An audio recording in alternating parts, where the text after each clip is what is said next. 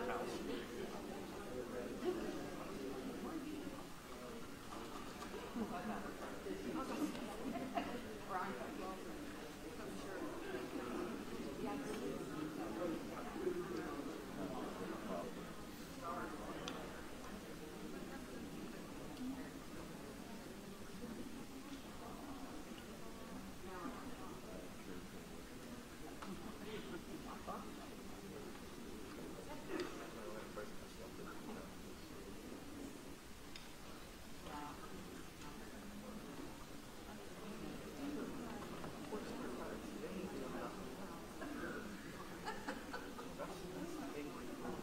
Set it at all week. And on Fridays, once you're out of hours, let's keep it a certain position here to over. That's what they do. I don't really do it.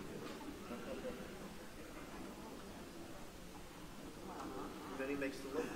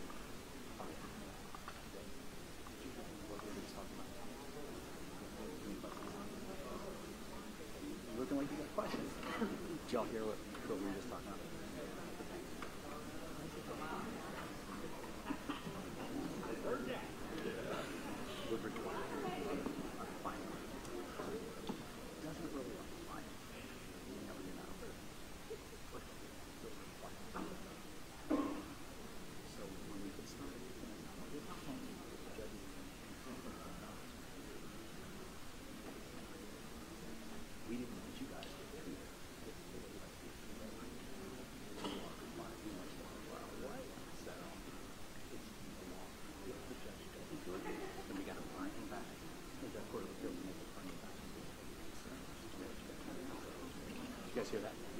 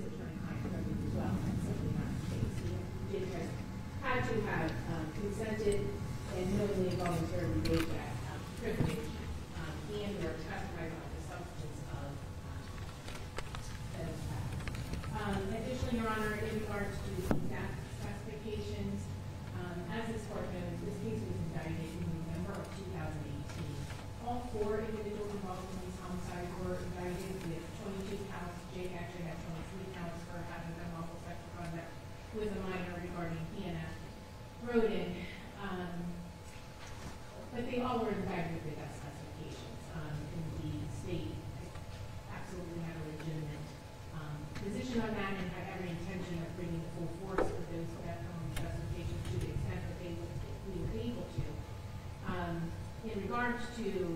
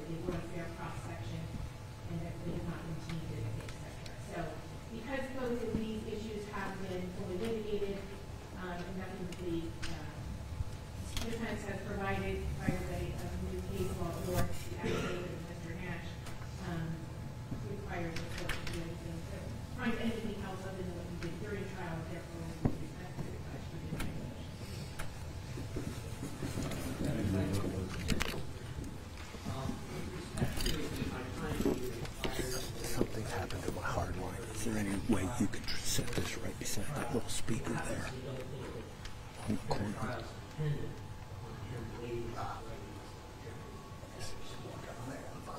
Okay. Is that okay if I put it? Okay. Has considered the uh, memoranda filed by each uh, side um, and the rather oral arguments in the court will find that the motion for new trial is not well taken and will deny the motion for new trial. One matter we need to take up uh, before moving on to the sentencing hearing is the matter of the uh, highest violent offender database. The court is required uh, by law to inform uh, the defendant of certain things concerning that. Uh, uh, Mr. Wagner, you've been convicted of or have been found guilty by jury of eight counts of aggravated murder. That classifies you as a violent offender, and it's presumed that you will be required to enroll in the violent offender database with respect to those offenses that classify you as a violent offender, and that you have all of the violent offender database duties with respect to that offense for 10 years after you initially enroll in the database. The court has provided uh, you, uh, through your attorneys here, with a copy of the form that advises you of uh, those duties. Did you have an opportunity to look at that form? Yes, sir. And did you go over it with your attorneys? Yes, And did, did you read it yourself? yes, You feel that you understand it? yes. um, the presumption that you enroll in the uh, violent offender database is a rebuttable presumption. Um, You have the right uh, to file a motion to rebut the presumption, asserting in your motion that you were not the principal offender in the commission of the offense, offenses that classify you as a violent offender and requesting that the court not require you to enroll in the violent offender database and that you not have all of the violent offender database duties with respect to the offense, offenses in this case. Uh, That motion must be filed uh, prior to the time of sentencing. I don't know if it's your intent to do that here this morning or not, but uh, if you file the motion, a hearing will be held, and you will have the burden of proving to the court by preponderance of the evidence that you were not the principal offender in the commission of the offenses that classify you as a violent offender. If you satisfy that burden and the court finds by a preponderance of the evidence that you were not the principal offender, then the presumption is rebutted. And in that case, the court will continue the hearing for the purpose of determining whether, notwithstanding the rebuttal of the presumption, you should be required to enroll in the violent offender database and have all violent offender database duties with respect to the offenses that classify you as a violent offender. In making that determination, the court would consider several things. Uh, One, whether you have any uh, convictions for any offense of violence prior to the offenses uh, uh, at issue here, which classifies you as a violent offender, and whether those prior convictions, if any, indicate that you have a propensity for violence. Two, the result of a risk assessment of yourself conducted through use of a single validated risk assessment tool established under section 5120.114 of the revised code. Three, your degree of culpability or involvement in the offense at issue that classifies you as a violent offender. And four, the public interest and safety.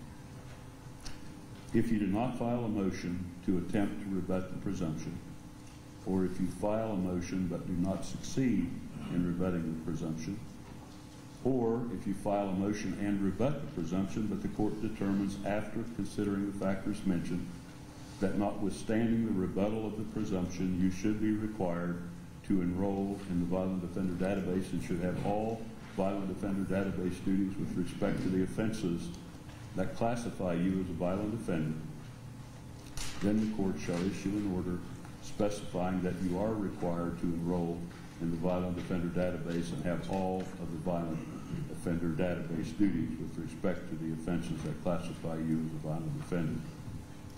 In that case, you will be required to enroll in the violent uh, offense database within 10 days after, and the law provides within 10 days uh, after, um, uh, if you are not, uh, within 10 days uh, after sentencing, if you're not sentenced to a term of incarceration. In this case, however, a term of incarceration, of course, is mandatory. So in this case, it would be within 10 days after your release from incarceration.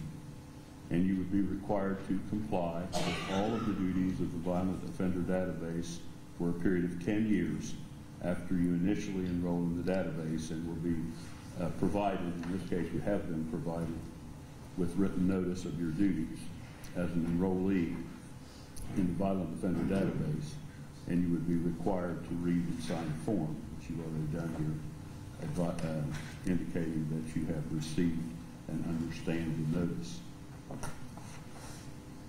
So I'm not sure whether he intends to file a motion.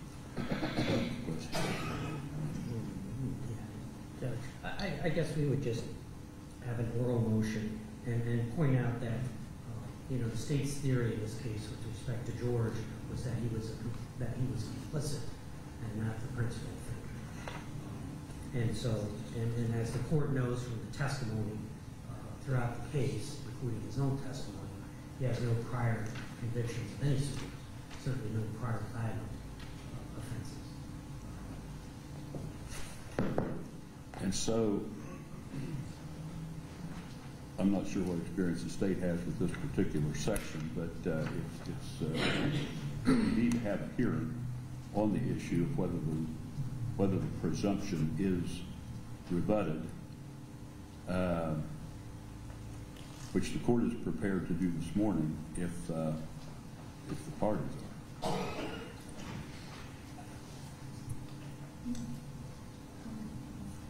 And I suppose the hearing could actually be post-sentence as far as that goes. I don't see any prohibition there, but, but uh, we could also have the hearing this morning on that. What's council's desire on that? Yeah, as far as the state's concerned, see that indicates the motion must be filed at any time of the sentencing, the be required to, required to enroll. There are four factors, and some of these we wouldn't have before us as a result of a risk assessment tool. That the two things we would be arguing would be the degree of culpability or involvement in the underlying offense, and this is the main one, the uh, public interest and safety. And I will point out for the court that uh, the qualifying offenses, uh, for Sierra's law, and that's what this is, violent offender database, are aggravated murder, which he's been convicted of, and it also includes any attempt, conspiracy, or complicity conviction for any of those offenses as well. The complicity and uh, conspiracy also apply. I'm sorry, apply to. Applies apply the qualifying offenses. Yeah. Yeah, conspiracy in and of itself and complicity in and of itself. So I I indicated the first eight, eight here of aggravated murder would apply, but the, conspiracy and the prosecutor pointed out complicity would also be those that qualify him uh, for this. So the, the, the, the actually anticipated here is a hearing on whether he has rebutted the presumption uh, by establishing by preponderance of the evidence that he's not the principal offender in the commission of the offenses classify him as a violent offender. And then, if the court finds he has done that, then notwithstanding that, whether he should be required to uh, be, uh, uh, to enroll. I'm not sure, I, I, it sounds like maybe the state is, is agreeing that he was not the principal offender, he was Actually, uh, we would not agree on that, Your Honor. He is, uh, it, it talks about conspiracy or complicity as well. Again, there's testimony from Jake Wagner that he would, that he wasn't a uh, trigger puller on the case, but it still covers, uh, conspiracy and complicity as well, too. And again, it's a rebuttable presumption. Uh, we would, uh, we would argue that specifically, if you look at the factors, Yep, you look at the factors, uh, most important one being public interest and public safety. You've got somebody who's been convicted of, uh, your eight, uh, aggravated murders and other, uh, other charges involving Don't those. those factors, though, aren't, tho- don't those uh, come in only if he has rebutted the presumption? It's up, it's up to him to rebut it. If he wants to try and rebut it, you know, we're here and ready. Well, I, I think we would just adopt the testimony from a trial. I mean, that's a better hearing than hearing we could put on. So you're willing to submit this as a part of the hear, as, as the, in the hearing to rebut the presumption, you're submitting the evidence produced at trial and don't intend to present anything else? That's correct. Okay. So, so there, there, now, does the state have a response to that? Yeah, we'd be willing to let the court take judicial notice of the facts, facts that were testified to and the evidence in this case. Again, even if he were not uh, arguably a principal offender, he's still convicted of conspiracy and the complicity charge as well. And I would argue most importantly, there, again, there's two factors. His degree of culpability or involvement in the underlying offenses. And quite frankly, frankly, Your in plain English, he was up to his eyeballs in this, helped plan it. You heard the testimony of the other two co-conspirators. He was completely involved in it. And I would argue the public interest and public safety, most importantly, and you've got somebody that's been uh, convicted of eight separate aggravated murders and was indicted on uh, death specs. And hopefully there's never ever a chance that he would ever be out in a position to register, but uh, we just asked the court to take judicial notice of the fact of this case. All right. But we wouldn't, again, be still argue that uh, the conspiracy to complicity apply to, he wouldn't be, he'd be a principal offender in those.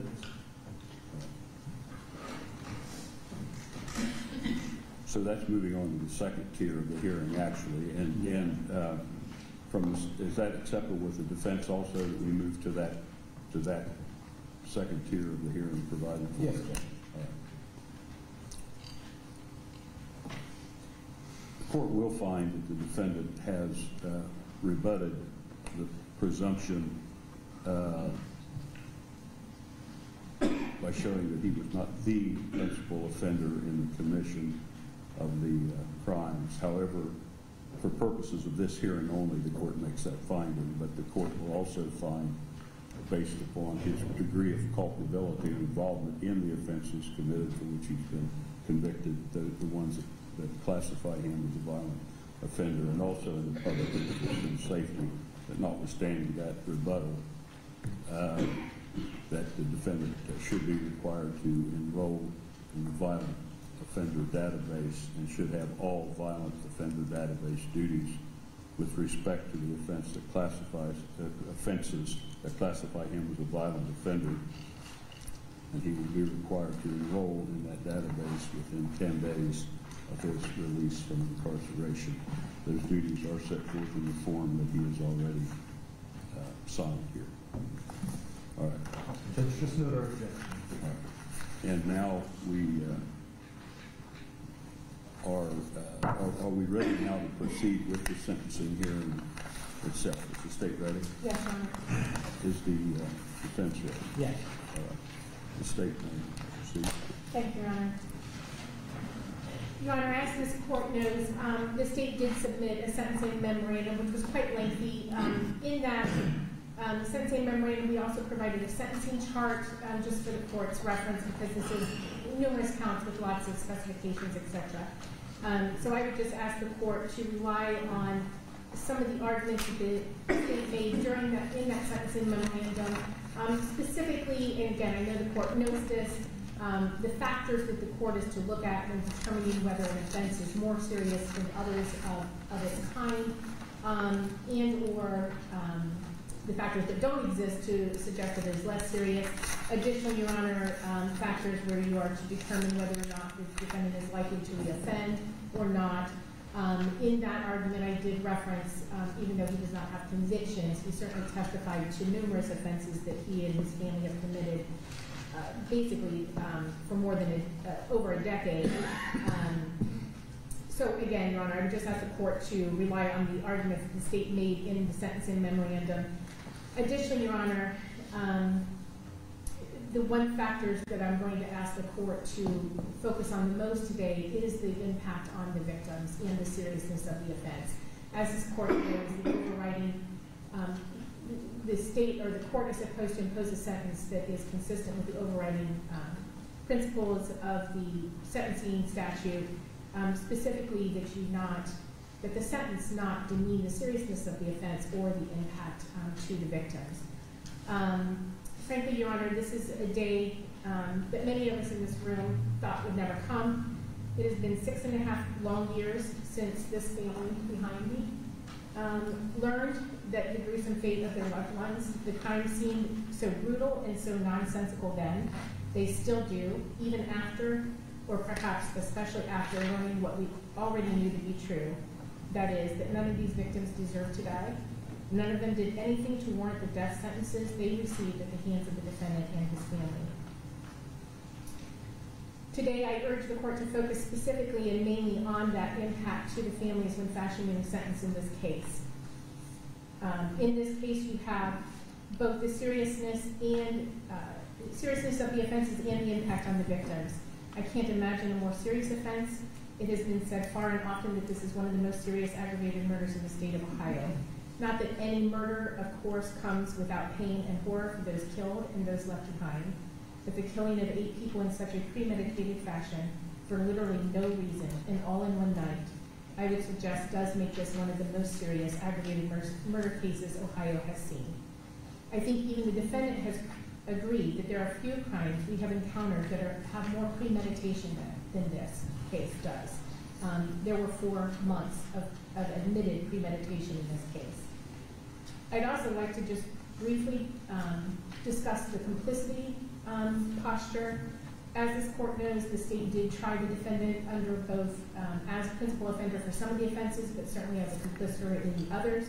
As this court knows, the, defendant is permitted to be punished just the same as if he were the principal offender as to any of these offenses.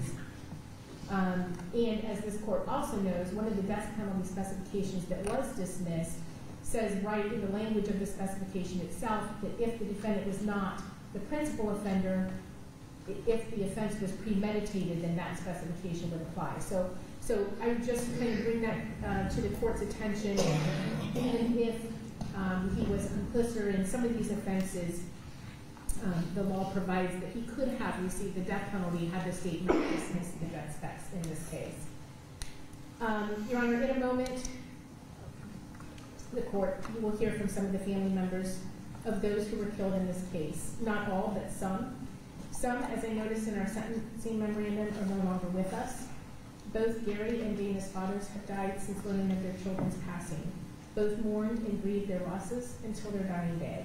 Both wanted more than anything, not only to see them again, but to also see justice in this case.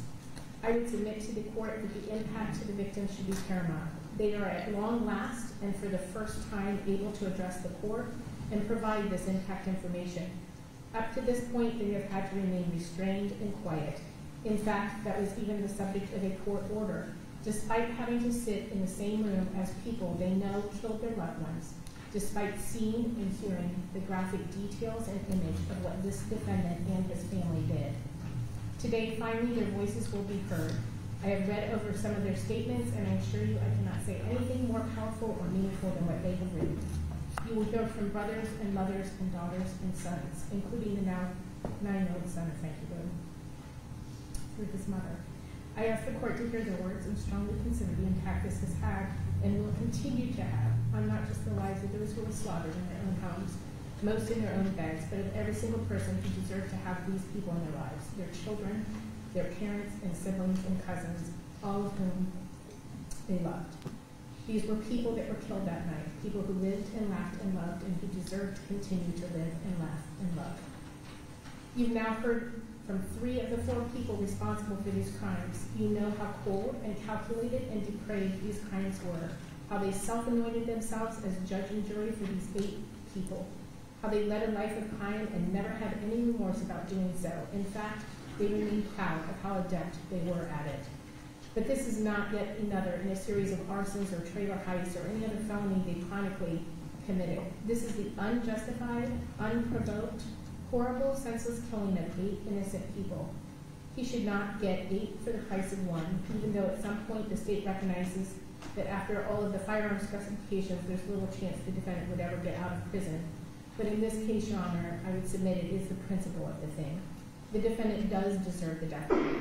There is no question. All four of them do, including Angela, who did not even leave the house that night. But because that is no longer on the table any longer, we urge the court to impose eight consecutive life without parole sentences regarding the murder of each of these lives, and to impose maximum and consecutive sentences to each of the remaining counts as well, because each and every remaining count in the indictment represents one more step in either the planning, the executing of, or the covering up of these horrific crimes and should be punished as such. The defendant has benefited from his brother's actions. That is the only reason he does not face the death penalty as we speak. He should not benefit even more than he already has for something that he did not contribute. The defendant in his sentencing memorandum begs for mercy. He showed no mercy for the victims who just wanted to live. They had no one to beg for their lives or demand due process. He was judge, jury, and executioner in their lives. He deserves no mercy. Your Honor, at this time, um, numerous victims, uh, family members are going to address the court. Um, in a few instances, or in a few instances, Ms. Kerr, our victim advocate on the case, is going to read their statements um, on behalf of them. For one reason or another, a couple of them could not be present. Um, others just didn't think they would be able to complete the sentence. So the first um, victim impact statement is from Angela Ant to Hannah Hazel. And Ms. Kerr will read that victim impact statement, Your Honor. Thank you.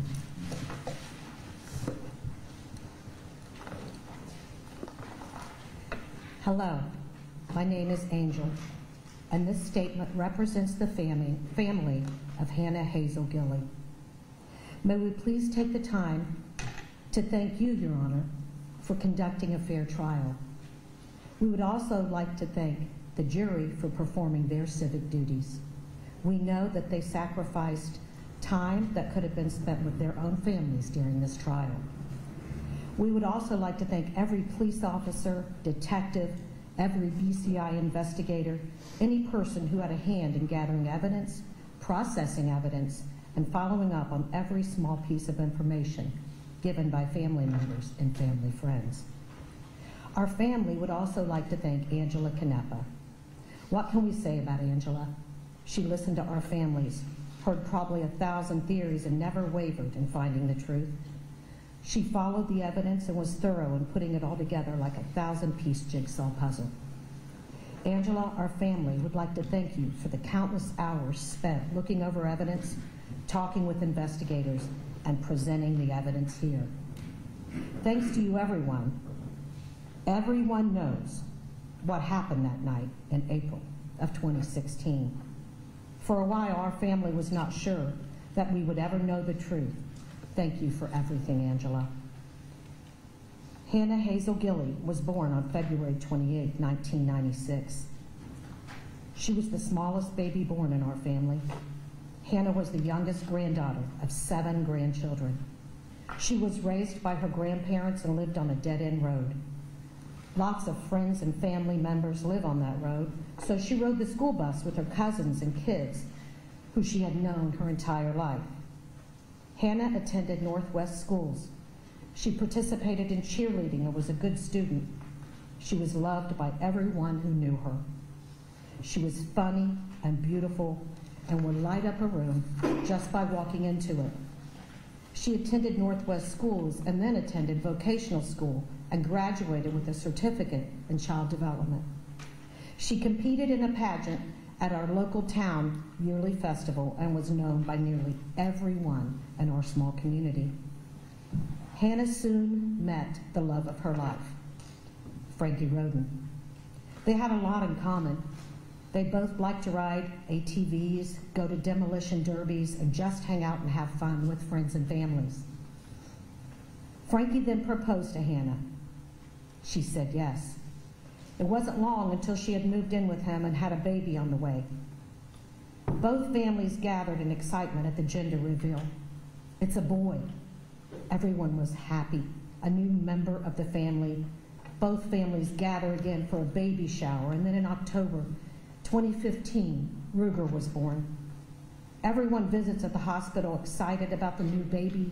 Hannah loved being a mother. She was a good mother, and she took great care of her new son. Our family had one more Thanksgiving, one more Christmas, and one more Easter with Hannah and Frankie. And then on that day in April, our lives changed forever. A few days later, we are making arrangements at our local funeral home for our 20 year old beautiful new mother of a six month old infant. Why? Our family is in total shock. Why? Why did this happen? I guess now we know why. The Wagner family. What can we say about the Wagner family members who committed this crime? Let's start with Jake. At least he told the truth. The other Wagner, I suppose, his story's yet to be told. And George, here today, this was his last ditch effort, hoping that there was some mistake in the evidence or technicality that might just set him free. But Angela, wow, what mother plots and plans to murder three other mothers? Two young mothers nursing their infants at the time of their death. What kind of mother is she? Now, none of those Wagners want to face capital punishment conviction. They don't want the death penalty. They don't want to die. How ironic is that? Well, karma drives a big bus, and you will eventually reap what you have been sown, and you will pay the price for what you have done. No one even must do anything, because it is true what comes around goes around. To you, Hannah was just collateral damage in your sick and twisted plan. Her life meant absolutely nothing to you, but to our family, she meant everything. We love her and we miss her, and we would give anything to have her back. Instead, she has been laid to rest beside the grandparents that raised her on that same dead end road, only about 300 feet from the same driveway where she always caught the school bus. This is a very sad story, and what makes it even more sad is that it is true. Thank you, Your Honor.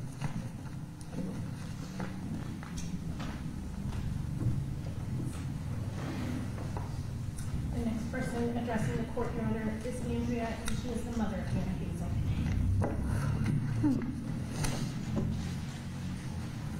Thank you, Judge Deering, for this time to address the court today.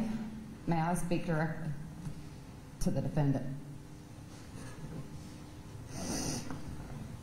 I'll permit you to do that within reason, but I have to regulate somewhat. But I'll, I'll let you, I, I'd prefer that you to address your comments to me, but if there's something that you feel that you need to say to the defendant, I'll permit you to do that.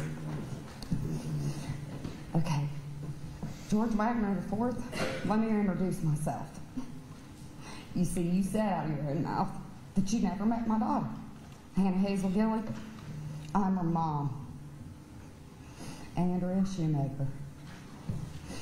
I stand here today to be her voice since you, George Wagner IV, and your evil family took her. I'm supposed to stand here today and give a victim's impact statement. I have no idea. I have never done any sort of paper like this. And I have no idea. I've never done anything like this. So I did what most people do. I Googled it. But as soon as the word victim popped up, I looked at the definition just to see what exactly it says. Victim means a person harmed, injured, or killed as a result of a crime, accident, or other event or action.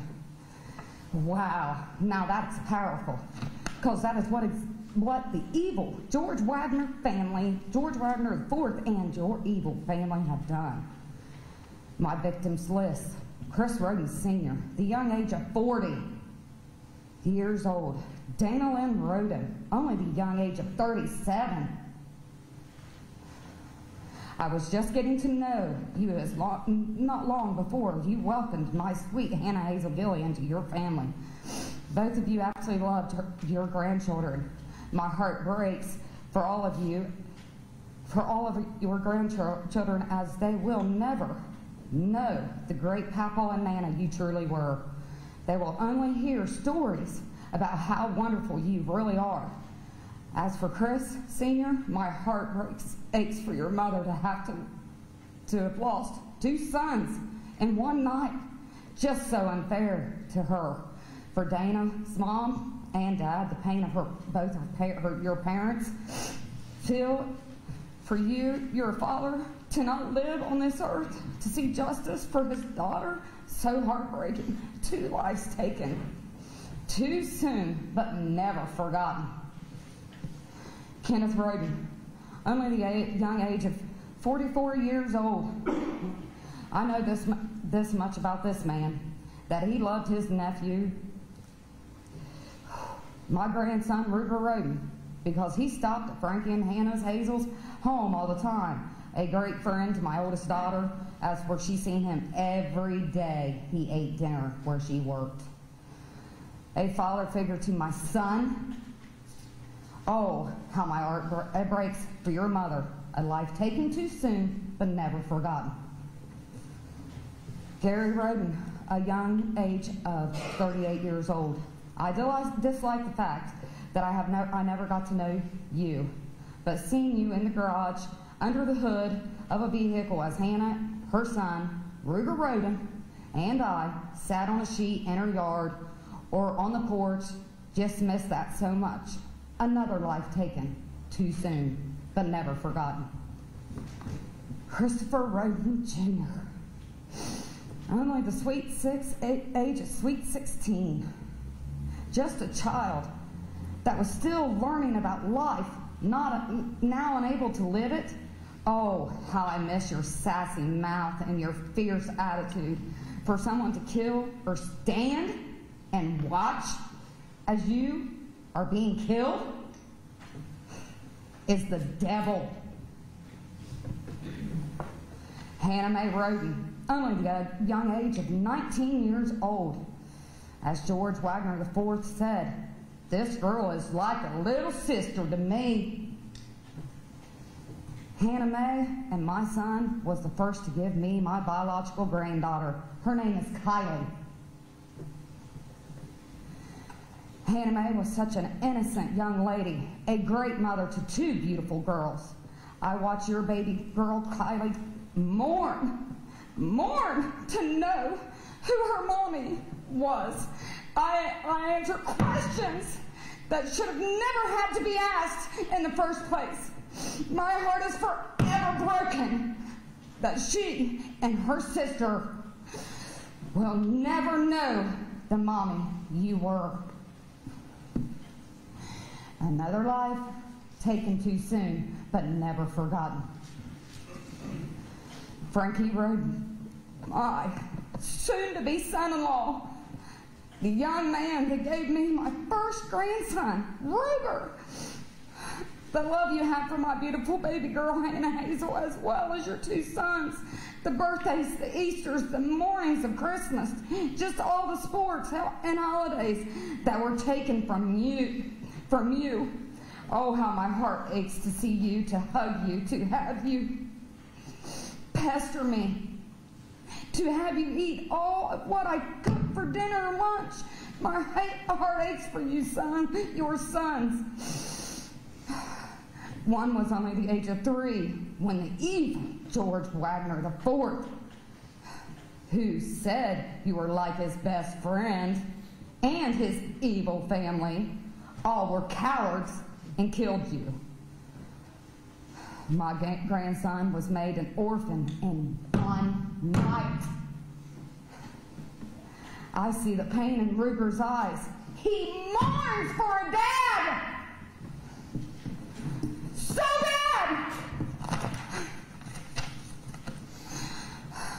And it is something he will do for the rest of his life, is want his daddy. Oh, and Hannah Hazel Gilley, my baby girl, only the age of 20, gone mad, who fell in love with a young man, Frankie Rhoden, the love of Hannah Hazel Gilley's life. Hannah Hazel was the first of my children to give me the blessing of becoming a mammal. And Hannah Hazel Gilley lost my spot. Hannah, Anna Hazel Gilley was a first time mom to her beautiful son Ruger. And what a mommy she was. She loved her son with her whole heart. And for her to only have six months, six months of his life That is the one thing she wanted to see in her whole young life is to watch him grow up, watch him hunt eggs at Easter time. The look on his face when he sees the Easter bunny the, for the first time. The look on his face on Christmas morning after Santa came and his reindeers left the gifts because he made the nice list. Open presents for birthdays. Just all the fun things a mommy and daddy do together. My baby girl, I miss you beyond words. Another life taken way too soon, but will never be forgotten. Number nine, the list of victims gets longer. The eight lives are just the ones no longer on this earth.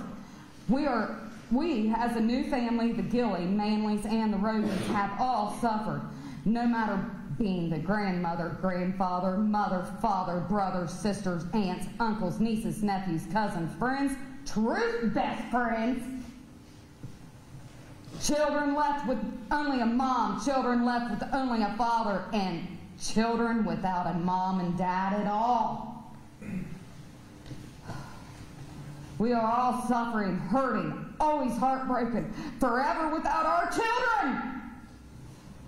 All because the devils like the dark. Devils hunt at night, just like you, George Wagner IV, and your evil family did on Friday, April the 21st and 22nd of 2016. Next, the word impact, what it means. Have a strong effect on someone or something. Hmm. Oh, what an impact the evil George Wagner and his family have had on me. I went to sleep on a Thursday, April 21st, 2016, was woke up in the early hours of April 22nd, 2016, from what I thought was a simple nightmare that I couldn't remember.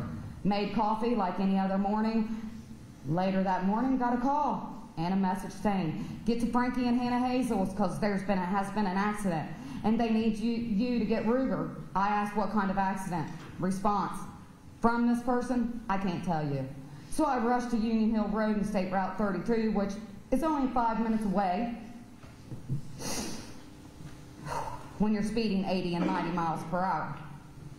And my thoughts within the five minute ride was, what kind of accident could happen?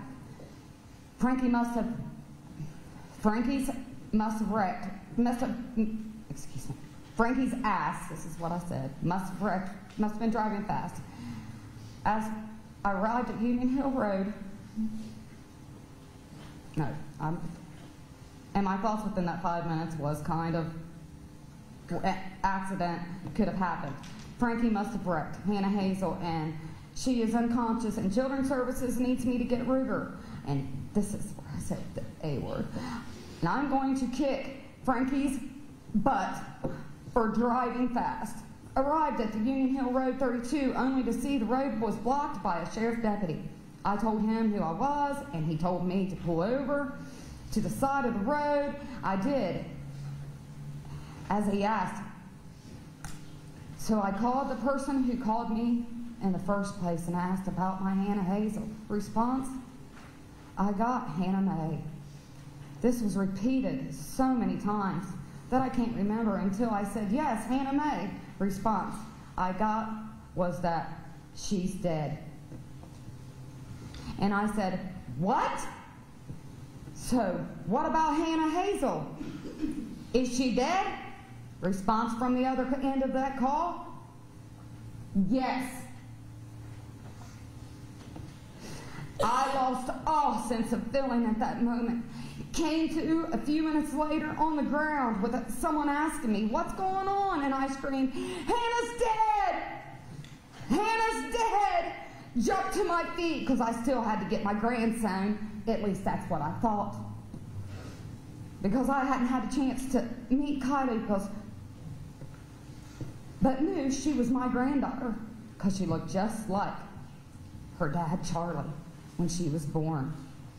Then the news, media, etc., started gathering like vultures on a dead deer carcass just to get the story that was our life, our life. Still here today. We were moved to a church where all sorts of family and friends started gathering. We went to the sheriff's stations to answer questions, give statements, but I wanted answers. That's what I got from BCI agents.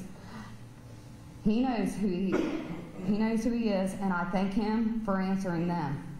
Then all the family was put into this church, and to be told by a screen from a press conference that our family was dead. Next, I was sitting on the, some steps outside the church, and a man woke, walked up to me and said, My name is Rob Junk. I'm the prosecutor from Pike County. If this person or people that did this would be brought before a judge, would you want the death penalty? And I said, Yes, an eye for an eye. What is what? An eye for an eye is what my mama always taught me. Speaking of parents, my dad mourned himself to death over the loss of his granddaughter, Hannah Hazel, as well as me, speaking as well as Frankie's and Hanna May's. So I feel as if you killed my dad when you and your family took eight lives in one night. The fact that all Hannah Hazel's Gilley's nieces, nephews, cousins, aunts, uncles, sisters, brothers, and good friends still suffer with heartache. My dear, I'm lost. heartache to see her, to hug her, to hear her voice, just to hear, he, just to have her in their lives like she once was. My many regrets I have many regrets and what ifs because of the devils you are. Finally, the word statement, which means a definition or a clear expression of something in a speech or writing. I pray to God that you get to see the heartbreaks for all them to have to tell you, a very young child that their Uncle Nana and Aunt Frankie went to heaven is unbearable. Yes, I said that right, because that's what they were called. Uncle Nana, Aunt Frankie. Whew.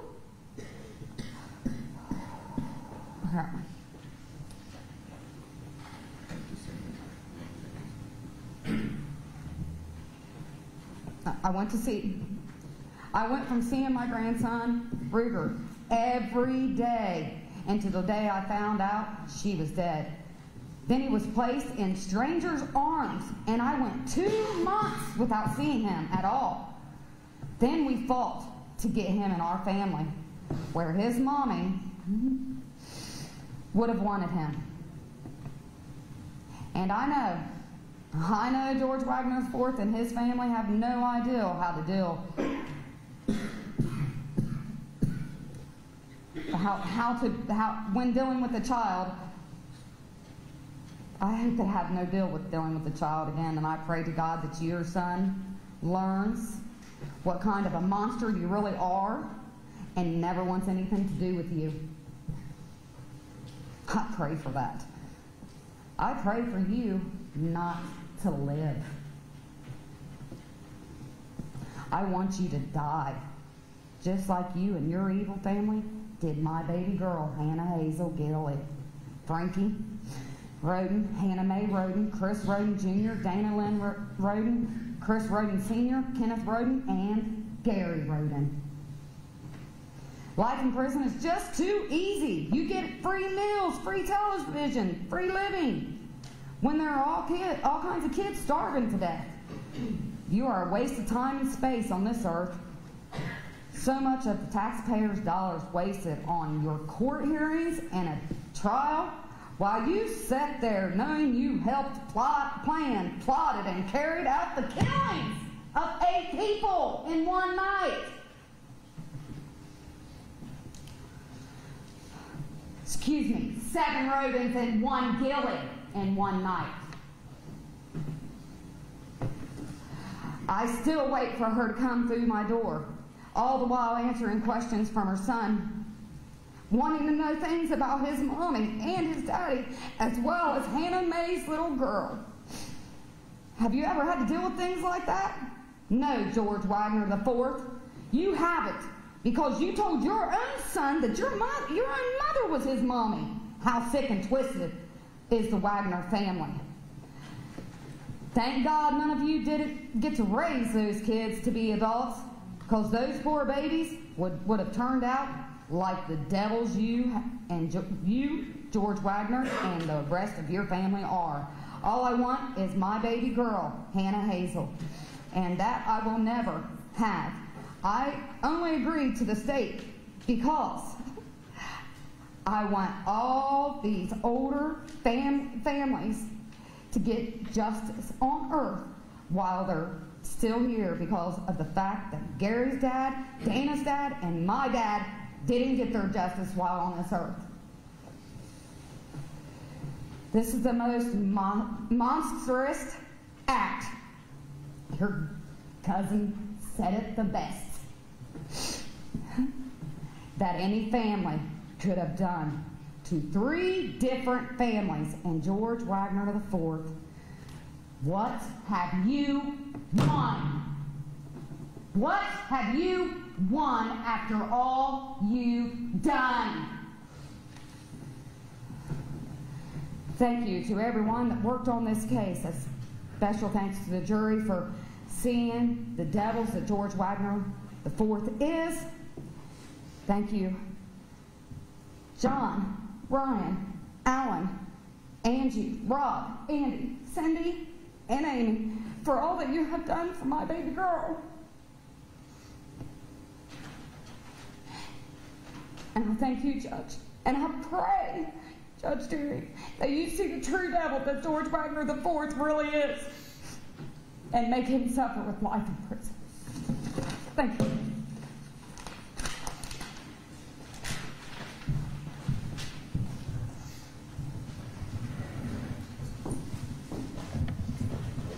Next will be Kendra Rhoden.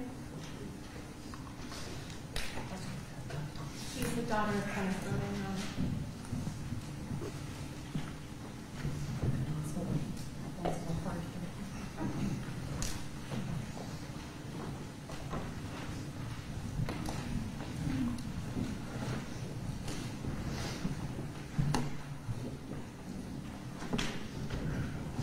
As I stand here today, I know I should feel for peace. I should have peace because you have been found guilty on all 22 counts. I should feel relief that justice is being served. But there is no real justice, and peace is not a feeling I have. Hanna May was my peace, and because of you and your family, she is gone. Eight lives taken, and so many more traumatized by the horrendous acts committed by the Wagner family. For months, I was riddled with questions of who and why. I tried to find solace in the belief that most of my family members died instantly from being shot in the head. Unfortunately, that was not true. When signing for my father's lifeless body, the coroner stated my father died within minutes of being shot. Minutes, not seconds. So now I'm left wondering for how long did he remain consci- conscious? Did he feel the pain? How long was he conscious for, knowing his death was imminent and there was nothing he could do? What went through his mind in those moments that I imagine felt like hours as he died alone? What about Hanna May as she lay next to her nursing infant? Did she die in fear, not knowing what would happen to her child? How long did she lie there helplessly, knowing she could do nothing to protect her infant from the evil that stormed, from, stormed through her home that night? The questions were accompanied by nightmares night after night. Lack of sleep drove me crazy. I thought I could not escape it. Every time I closed my eyes, I was taken back to the horrific moments I found out that my family was murdered and what I believed they went through. Screaming out in horror for Hannah to wake up and run as her attacker approaches, but nothing I done changed the outcome. Unfortunately, when I woke, it, I still could not escape the terror. It was and is still real. It wasn't just another terrifying dream. Sons and daughters left without their mothers and fathers, a mother giving, grieving her son, a daughter-in-law, and her grandkids. Some whose lives was just beginning, one as young as 16 years old. I begged for anything to stop the never-ending pain and grief, to the point I nearly ended my own life in December of 2017. In 2018, I had my daughter. It should have been a moment filled with nothing but joy. Instead, it was filled with heartache, knowing my father would never hold my daughter. My daughter frequently asked to see Papa Kenny, a man she never got to meet. I am burdened with telling her she can't, and naturally she asked why. She sees me cry and holds on to me because I have no words to offer other than Papa Kenny lies with Jesus. She will never know his unconditional love. She will never get to hold his rough but gentle hands. She will never get to experience how Papa Kenny's strong embrace made the world melt away and made everything better. Now, as I plan for my wedding, I dread walking down the aisle because my father will not be walking with me or handing me over as a father should. I won't look over to the bridesmaids and see Hanna May as my maid of honor. I won't see Frankie in the crowd making some sort of commotion to make me laugh and calm my nerves. Christopher won't be there as the life of the party making a scene as his usual goofy self. Furthermore, I'm reminded that Hannah won't be there for her daughter's first heartbreak to comfort them. She won't be there to teach them and help them grow into the beautiful women they will be.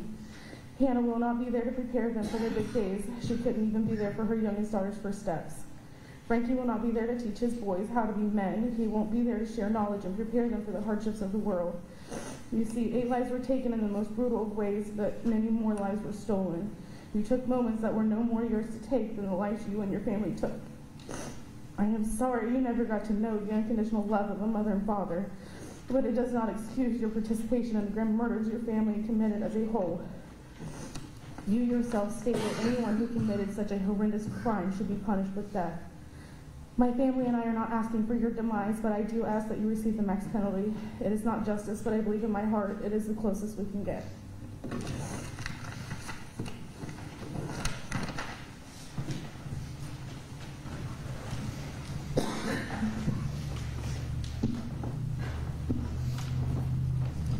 Next will be Chelsea. Oh, Right, she'll only be there, sorry. Okay, She is the mother of Brentley and Well, us come up here.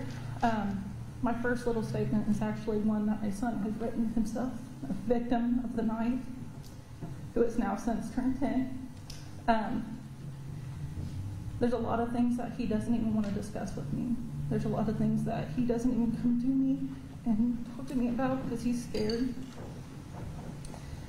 But he has written this himself and brought it to me. These are things that he hasn't even discussed with me, and he wanted George to know. Dear George, I find myself wondering why you killed my daddy. There are things that make me sad because I can't learn from him. He could have taught me stuff like working on derby cars and coon hunting. My mommy tried, but it's not as good as daddy was. I have been scared since that night, knowing bad guys came into my house while I was sleeping. I am always scared now that I will lose my mommy. You did that to me. I just want you to know that I hate you and your family. These are the words of a 10 year old boy. Just to grow up without a dad who doesn't have doesn't have a dad. I couldn't imagine that. Your kid is only six months old, younger than mine.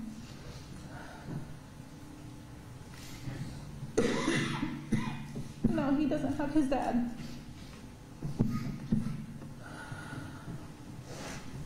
Just want to follow with my own little statement here. The impact death has on, on children can be difficult.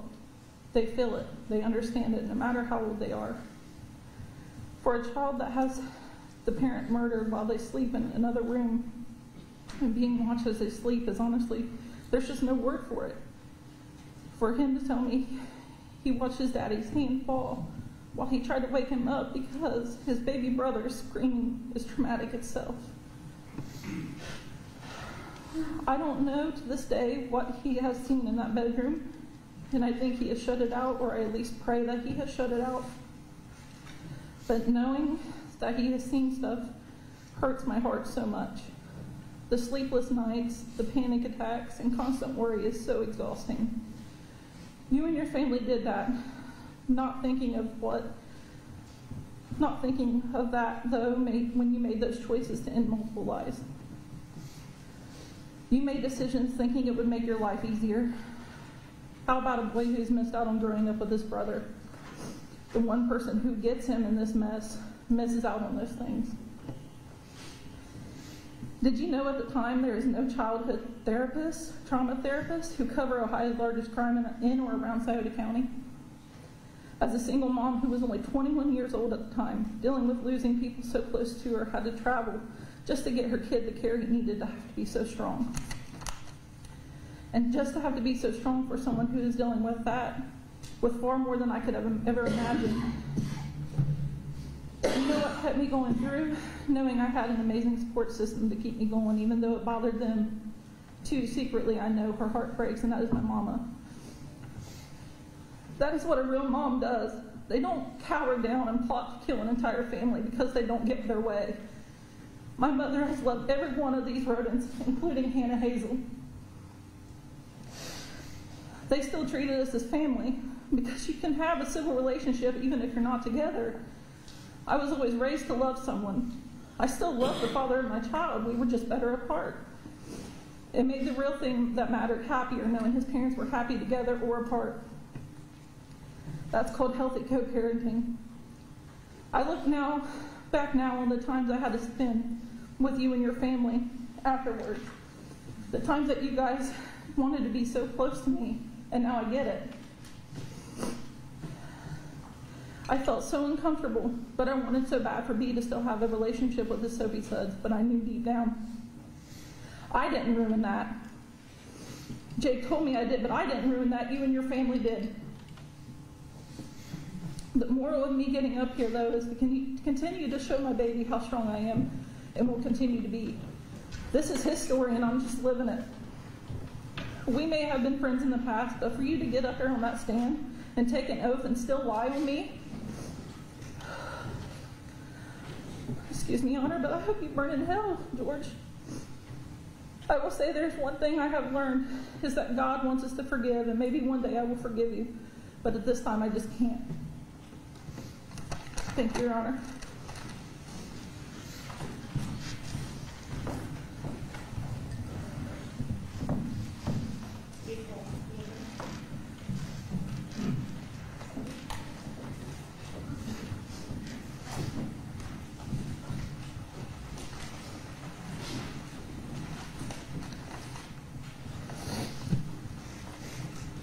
Hello, my name is April Manley. I'm the wife of James Manley, brother Dana Rhoden. As I stand here today, I realize I'm standing here for my father-in-law, Leonard. See, Leonard fought a short fight with liver cancer. All he wanted to do was be with his baby girl, Dana Rhoden, and make sure she was okay. For that reason, he wouldn't fight for his life. Leonard would tell us time and time again that he was sorry for leaving us but he just couldn't walk this world without Dana any longer. He made me promise that I would see these trials through, that I would be at every court date. So here I stand today at the end of one of them. I don't only stand here for Leonard, but myself as well. You see, James Manley and I will be married 28 years this week. The Rhodens are not just, just not The Rhodens are also my family, but in heart as well. I was the maid of, maid of honor at Dana and Chris's wedding. I was at the hospital at the births of Frankie, Hannah, and little Chris, or as I call them, Spanky, Hanny, and Monkey. I was also at the births of Frankie's boys, Hannah's girls, to Dana being a young mom and a full-time student and working full-time as an STNA from graduation until her death, I babysat Frankie, Hannah, and little Chris from the time they was born until they was old enough to stay by themselves. Even after they was old enough to look after themselves, I would still see them daily. That's why I refer to them as my babies. Then comes the morning of April 22nd, 2016, where all of our lives changed forever and we'll never be the same again. Not one, not two, but eight family members were taken away from us. It was like the bottom fell out of my soul. Hundreds of people around me, but I felt like I walked this world alone. Weeks of being in denial, even after seeing them laying there in their coffins, looking at them saying, that's not my loved ones, they look nothing like them. Their faces so unrecognizable. Convincing myself they were just hiding for something and they was coming back home to us as soon as it was over, but they never came home. The Manley Rhodens and Gilleys have missed out on so much due to the Rhodens being taken from us way too soon. So many holidays, birthdays, weddings, births, big celebrations were taken from us. It wasn't just my life affected by the tragedy, but also many others. My mother-in-law, Judy Manley, now walks this world without her daughter, her grandchildren, her son-in-law, our friends Kenneth and Gary. But now she also walks this world without her husband, Leonard, who just couldn't handle it, the pain any longer. To this day, my husband starts screaming, sis, in his sleep. It's the only thing he called Dana. My oldest son, who's a firefighter, says he has seen some gruesome things as a firefighter, but nothing will ever compare to seeing Frankie and Hannah laying there and all that blood. You see, Frankie wasn't only his cousin, that was his best friend. I watched my youngest son walk across the stage at his high school graduation with a picture of Hanna May pinned on his gown with a cap and tassel so Hanna May could graduate with him like she was intended to do. Within the group of her fellow classmates sat an empty chair with Hannah's picture and her cap and her gown. My stepson was never afraid of the dark. He is now 15 years old and still won't go outside by himself after dark. He says they came in the dark and took them all away. Before that night, he was never afraid. My grandchildren will never meet their Aunt Dana, their Uncle Chris, their Uncle Kenneth, cousins Frankie, Hazel, Hannah, little Chris, or Gary. There's still many more family members that are missing out on the family lives because of the Wagners took upon themselves to be the judge and the jury. They decided that my family's lives were to come to an end at their hands.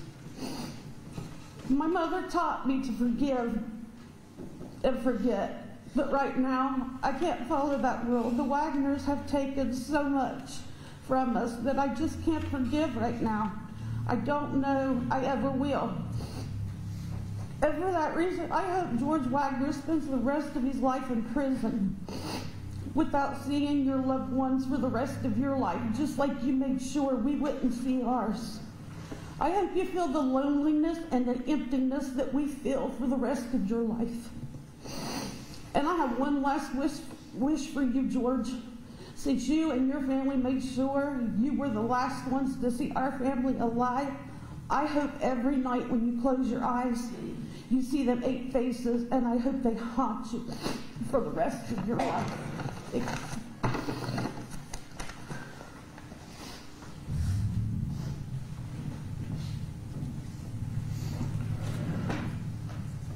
Ms. Kerr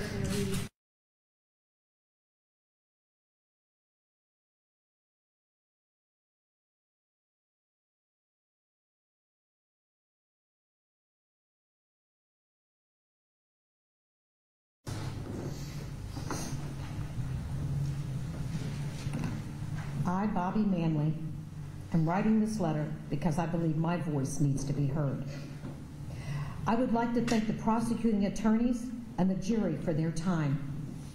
I'm Dana's baby sister, the aunt of Frankie, Hannah, and Chris Jr.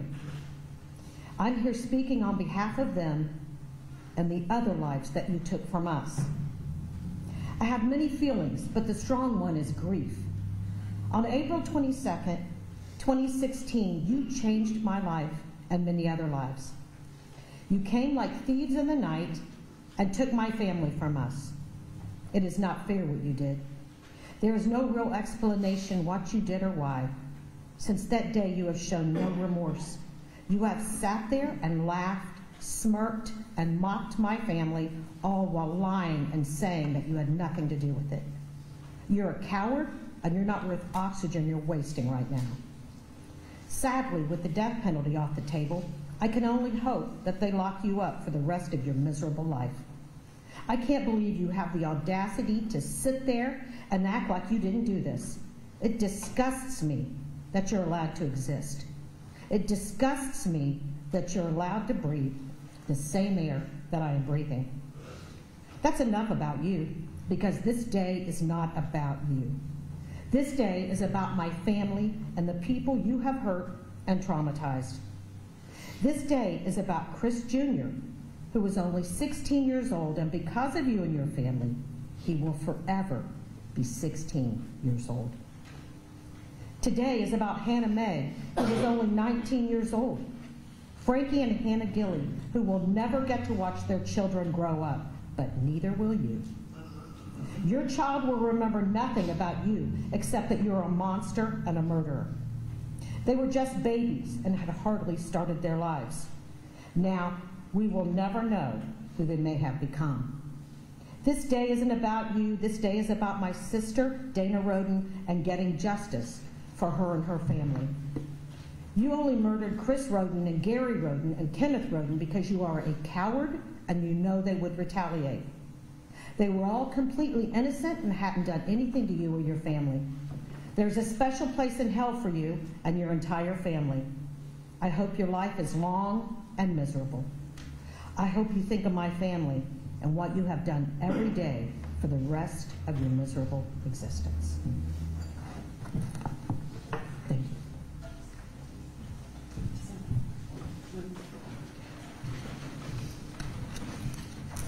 Honor, Ms. Curtis is going to uh, now read a statement from Ruth Rhoden. Ruth Rhoden Victim Impact Statement.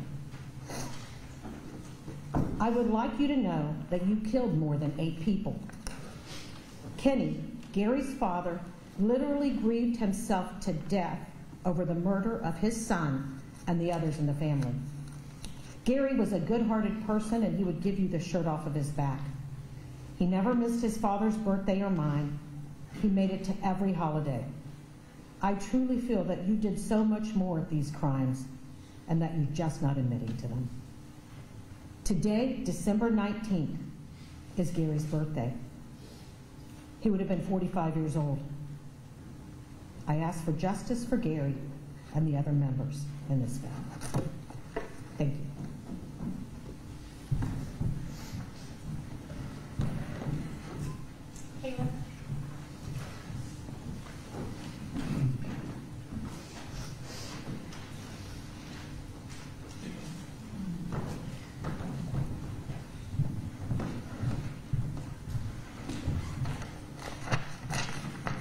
My name's Kayla, and I am the niece to Chris, Kenneth, and Dana, and a cousin to Gary, Hanna May, Hannah Hazel, uh, Frankie, and little Christopher. This is not a victim impact statement for myself or the rest of my family. This is a plea that you sentence this man to the maximum penalty for all charges. George may not have shot anyone as it was told or in attempt to lessen his role, but he was still there with the intent to kill, to kill at least one victim. He helped plan this, he helped in executing it, and then he helped in trying to cover it up. He helped hand a death sentence to all eight victims, and then he helped, oh, sorry, lost my, but Your Honor, this isn't just about these eight victims whose lives were taken. This is also about four children. Four children whose lives were torn apart because of this man and his actions. Brentley must live with the fact that he woke up to find his daddy and soon to be stepmommy dead. He had to see his baby brother covered in blood. We don't know what would have happened had he woke up while three men were in his home, and we thank God every day that he didn't. But Brentley at least has his mommy who can be both parents.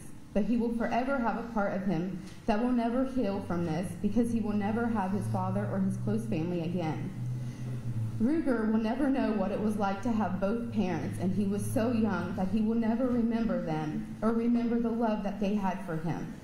That's the same for Kylie. She will never know her mother's love or the possibility of having a father who chose to be that to her.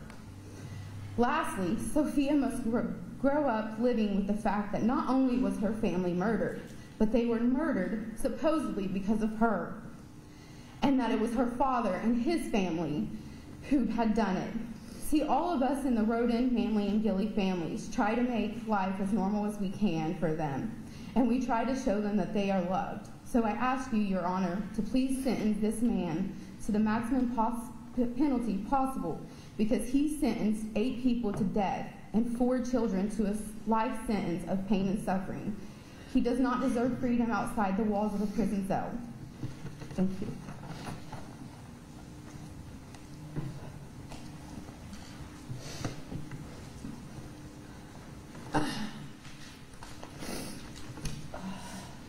I'm And Kenneth's niece.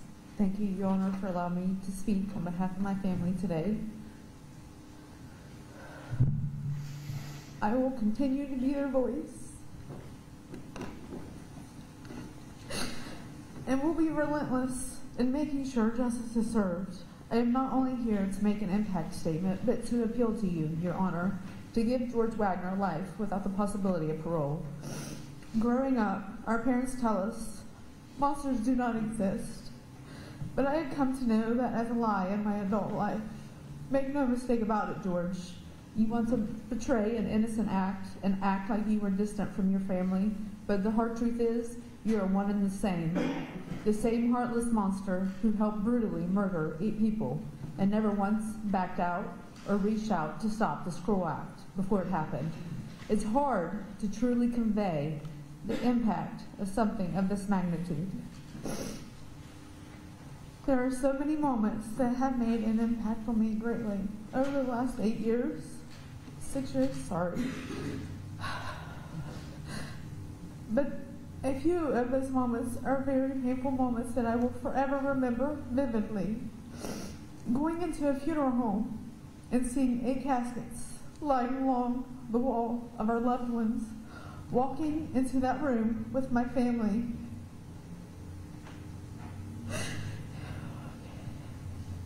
Hearing the screams from my mothers, my aunt, and my uncles while trying to hold them up because their legs gave away. I think everyone in that room felt the pain and would have done anything to take it away. That night, when it came time to say our final goodbyes and close the caskets, I'm sure our screams and sobs were heard from outside. As we had to be pulled away from that room,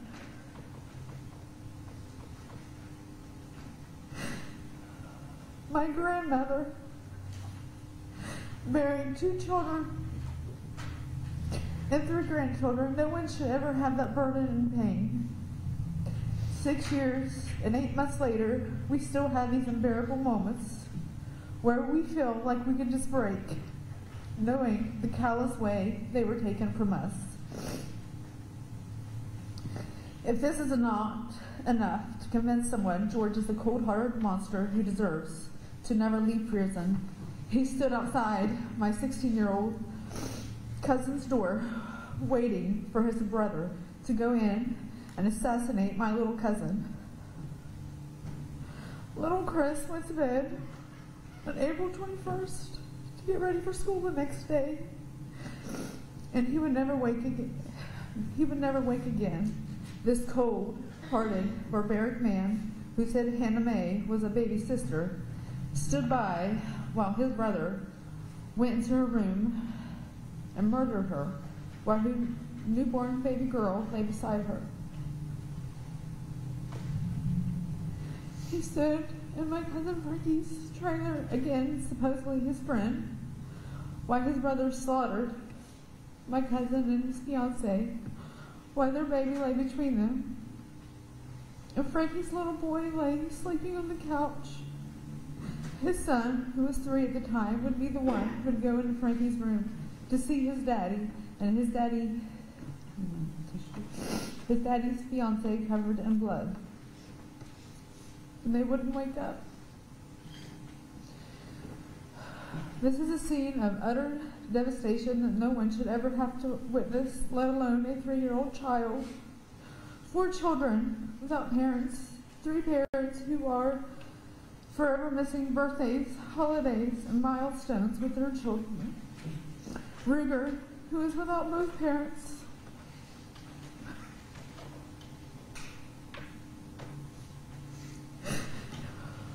was too young to know how much he was really loved by his parents. Kylie, you will never get to experience her mother's love. Brentley, who deserved his father's guidance and love throughout his life.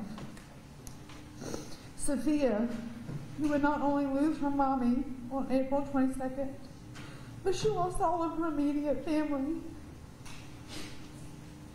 And then on November the 13th, 2018, she lost her dad, side of her immediate family, regardless of the monsters they are. She still had a bond. The devastation and impact will forever weigh heavy on her for the rest of her life. I've tried to wrap my head around why my family was given death sentences, but nothing will justify the why. My cousin, Hanna May, was given a death sentence because she was a strong willed mother who wanted to raise her daughter and continue to grow her family outside the Wagner's control. My cousin Gary, Hannah Hazel, little Chris, and my Aunt Nana was given a death sentence for just simply being there.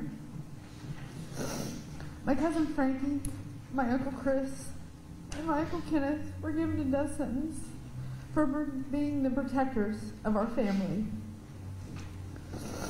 It's sickening to think this is what caused the tragic loss of eight people.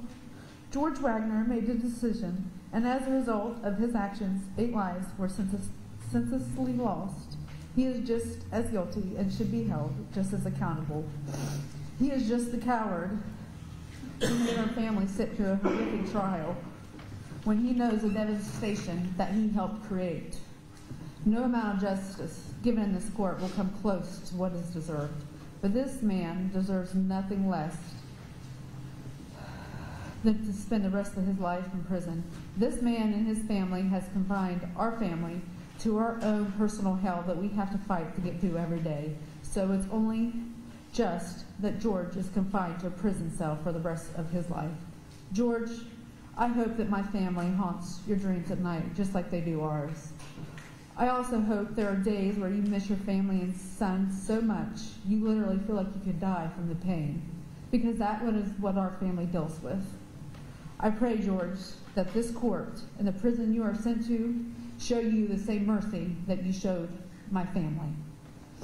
The day you take your last breath, you will face your Maker, and I pray they have no mercy on your soul. But on that day, I will finally have a little bit of peace.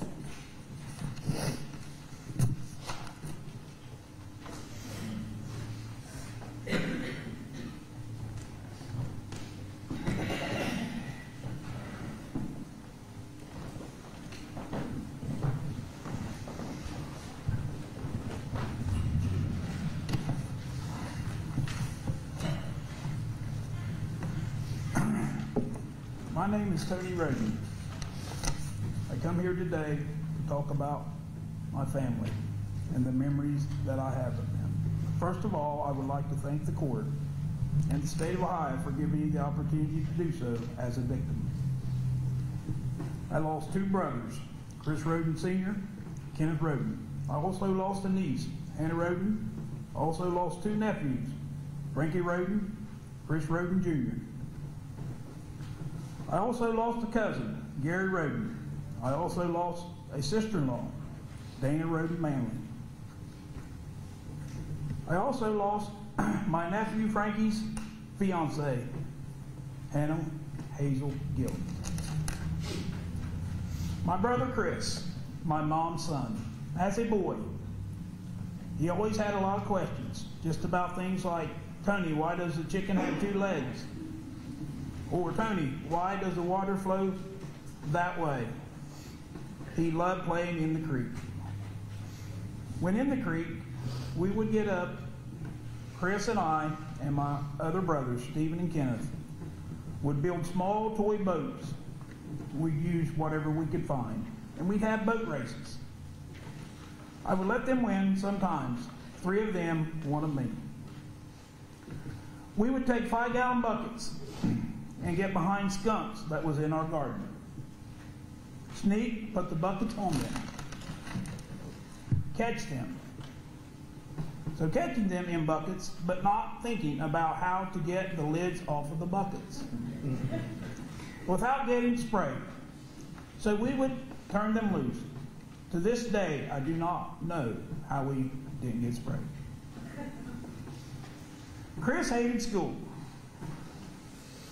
As a young boy, I would have to chase him down and carry him to the bus. We all would wait for the bus to pull up the lane. Then, when it would, he would run across the cornfield. But later, as a teenager, he began to like school a little better. But still didn't want to be there. He could go three days a week and still was able to get straight A's. He could not wait to get a job and make money. I always admired his ability to watch and learn. Him and I and Robin, our boss, and a gentleman by the name of that we called Paul. Paul was 70 years old at the time. We built a playground, a pirate ship, just from us four getting together and talking. Chris always had the ability to look at a project and bring it to life. I love that about him. Chris got married and had three kids. He loved them.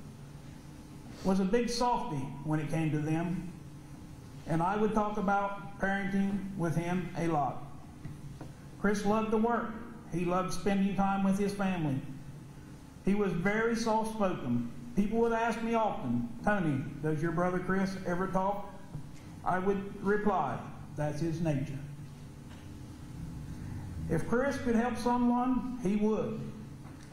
No matter if he knew them or not, he would help. We would talk about fireworks a lot. He loved fireworks. Chris would always do research on fireworks and keep me up to date. I believe he got that from our dad, which also loved fireworks. I have so many memories of my brother Chris that I wish I could put them all down on paper. So whoever hears this today could see through my memories how my brother Chris really was. Caring, gracious, loving, family man, and kind. He taught me a lot, and I hope I was able to do the same for him. His life cut short by selfish acts of others. My brother Kenneth, my mom's son. As a young boy, he would always hang out with me and my other brothers, Chris, Stephen, and Brady. We would have mud fights in the creek.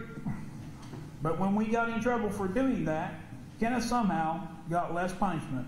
For it, he always would have that innocent look about him. As a young boy and a teenager, a teenager, excuse me, he was a hard worker, loved old cars and old trucks, even at a young age. Loved his family, and he always showed it. When he married, he adopted two kids, loved them as his own. True love, he always had a way of showing them. I always admired that about him the love he had for his kids. And not just his kids, all kids. I always felt I was the lucky one to be able to work with him and just see how, as a hard worker, he really was. A gracious, kind, caring, loving man. So many memories of him makes me very sad. When I think of him, he had so much to offer other ones. His love for other people, all cut short by selfish acts of others. My niece Hannah, at a young age, her toys were hers. But if she liked you, then you could touch them, then play with them. When she became a little older, she would tag along with her brothers, Frankie and Christopher, come to my house to play pool with my kids. I had to be a referee in those games quite often. At a young age, she had two kids of her own. Right from the first one, you could see the love and caring she had in her for her kid. A true love from your mother touches the heart. She had that. Her children were not get to experience that from their true mother. My mom's granddaughter, her life cut short by selfish acts of others. My nephew Frankie, as a young kid, he would get into everything. When times at my house, he would want to touch whatever he could. I would tell him, leave that alone or I will cut your ears off. He loved the outdoors, loved to hunt. We would talk about it often. I miss those conversations. He had two children.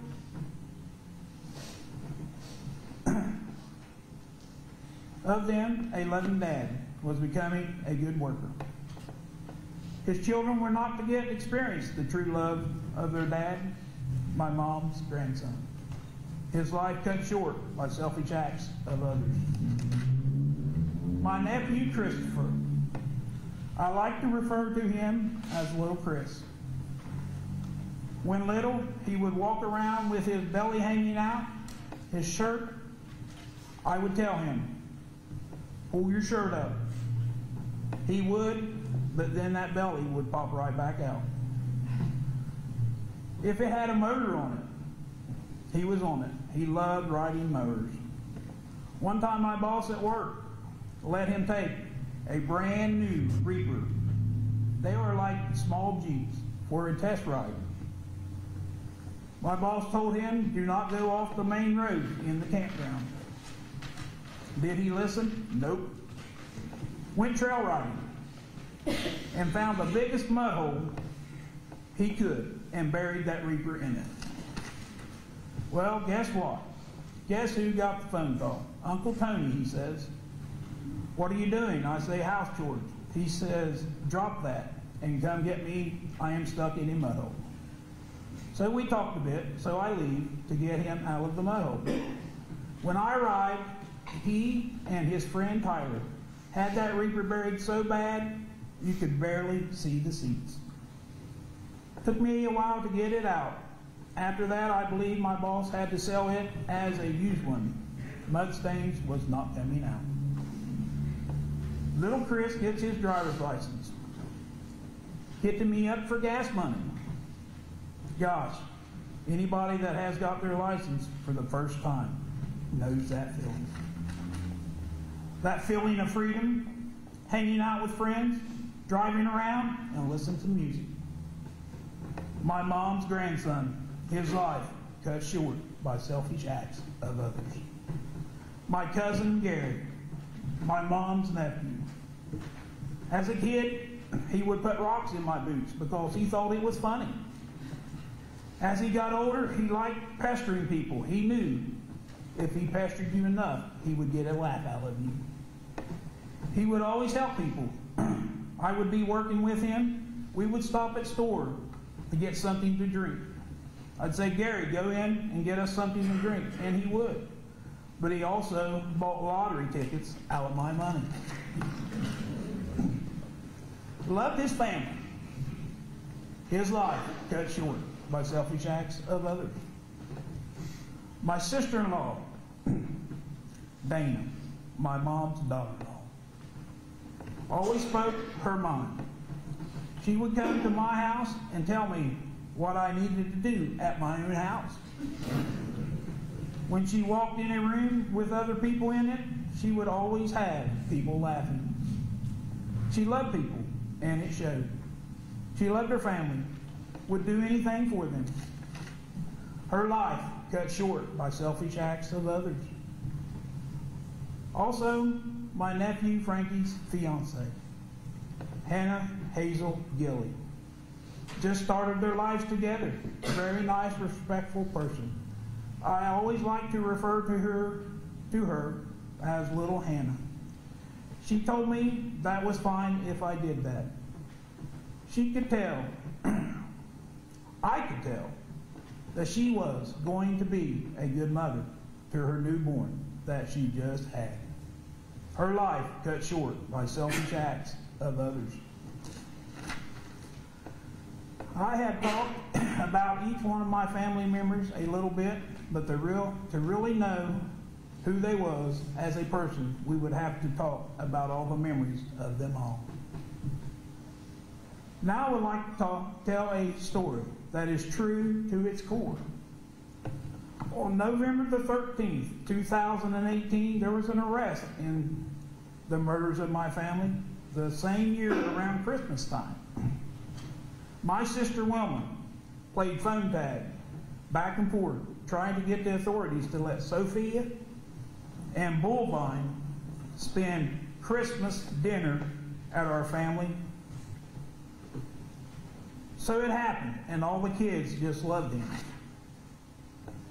And at this Christmas dinner, our mom was handing out presents to her younger grandchildren and her great grandchildren. So they all filing through, sitting on mom's lap as she hands their present to them. Pictures were being taken. And then Bullvine's name is called. He walks up to mom, she puts him on her lap. she hands him the present. Pictures are taken. She puts him down and gives him a hug. I am sitting in the kitchen crying as I watch. Bullvine is no relation to our family, but he is the defendant's son. True love, that's what was showed that Christmas dinner. It was embedded by our mom to all of her kids. We all have it in us. Chris taught it to his kids, it showed. Kenneth taught it to his, and it still shows. True love. I'd like to read this statement from my mom.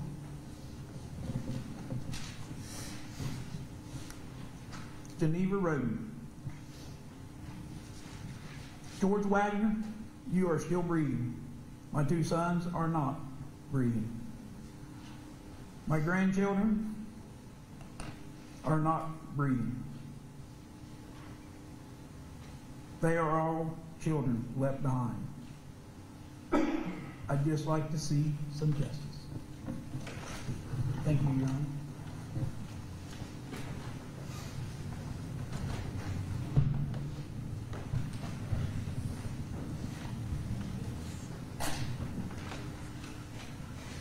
That's all the document signature.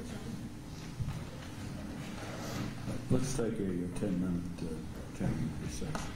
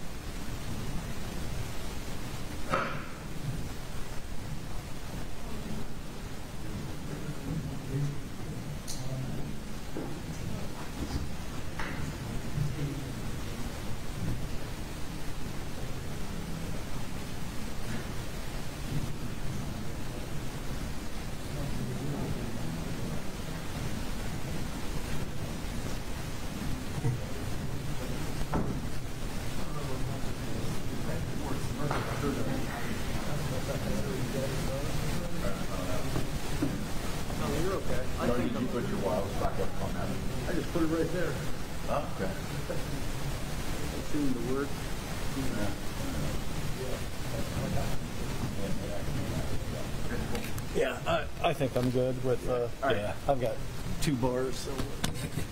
This will work. We'll just go with that.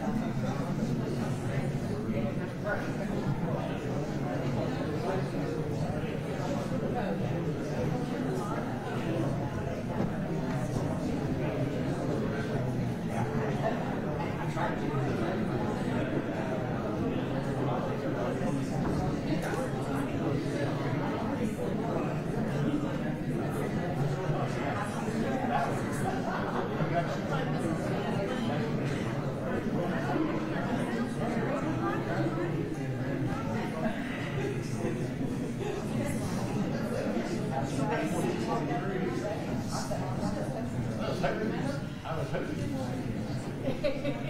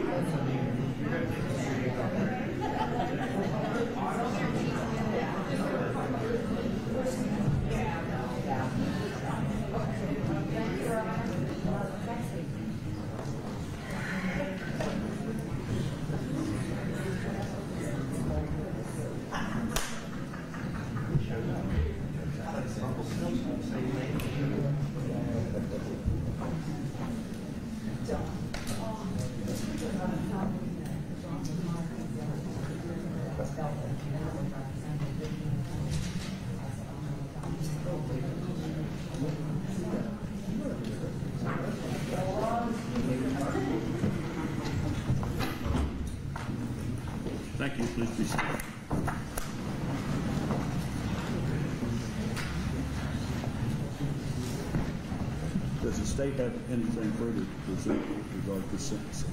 No, Your Honor. Defense, does the defense wish to present something today? with regard to- Judge, just a brief argument. Um, Judge, as- as the court is very much aware, we filed a sentencing memorandum, which sure the court has reviewed. We won't repeat the arguments we made there.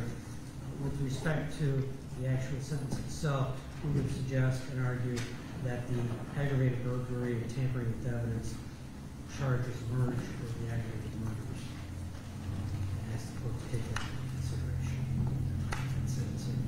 Um, only other thing, my client obviously has a right to say anything he wants. Uh, in discussing this with him, he's not going to make a statement. The court heard his testimony. Uh, He maintains his innocence. And we would simply ask that at the appropriate time, uh, the court appoint appellate counsel and waive fines and costs based on his indigent status. And we file, excuse me, file a poverty affidavit um, with the motion for appointment of counsel, which applies to the and fines. Thank you. All right, you, you indicated that you felt what merged? The, the, um, and the, um, the aggravated burglaries, uh, associated with the aggravated murders, and, and I believe the court instructed the alternative of tampering with evidence. uh, When, when the jury was considering the aggravated burglaries and murders, there's an alternative of tampering with evidence. So we think, uh, based on the facts and, and the jury's verdict, that those counts States, uh, what the state wish to respond to the statement, to the uh, defense counsel's uh, statement concerning the merger of any of the offenses? Yeah, Your Honor, I, I'm unclear what basis, I, they've not stated a legal reason why they believe it merges, but it absolutely does not merge. The tampering with evidence and aggravated burglary would not merge. There's no legal rationale for that. And what else? You know, It was, it was the, that the aggravated burglaries took place with the purpose to commit aggravated murder or tampering with evidence, I believe was the instruction. And so, that's what it is.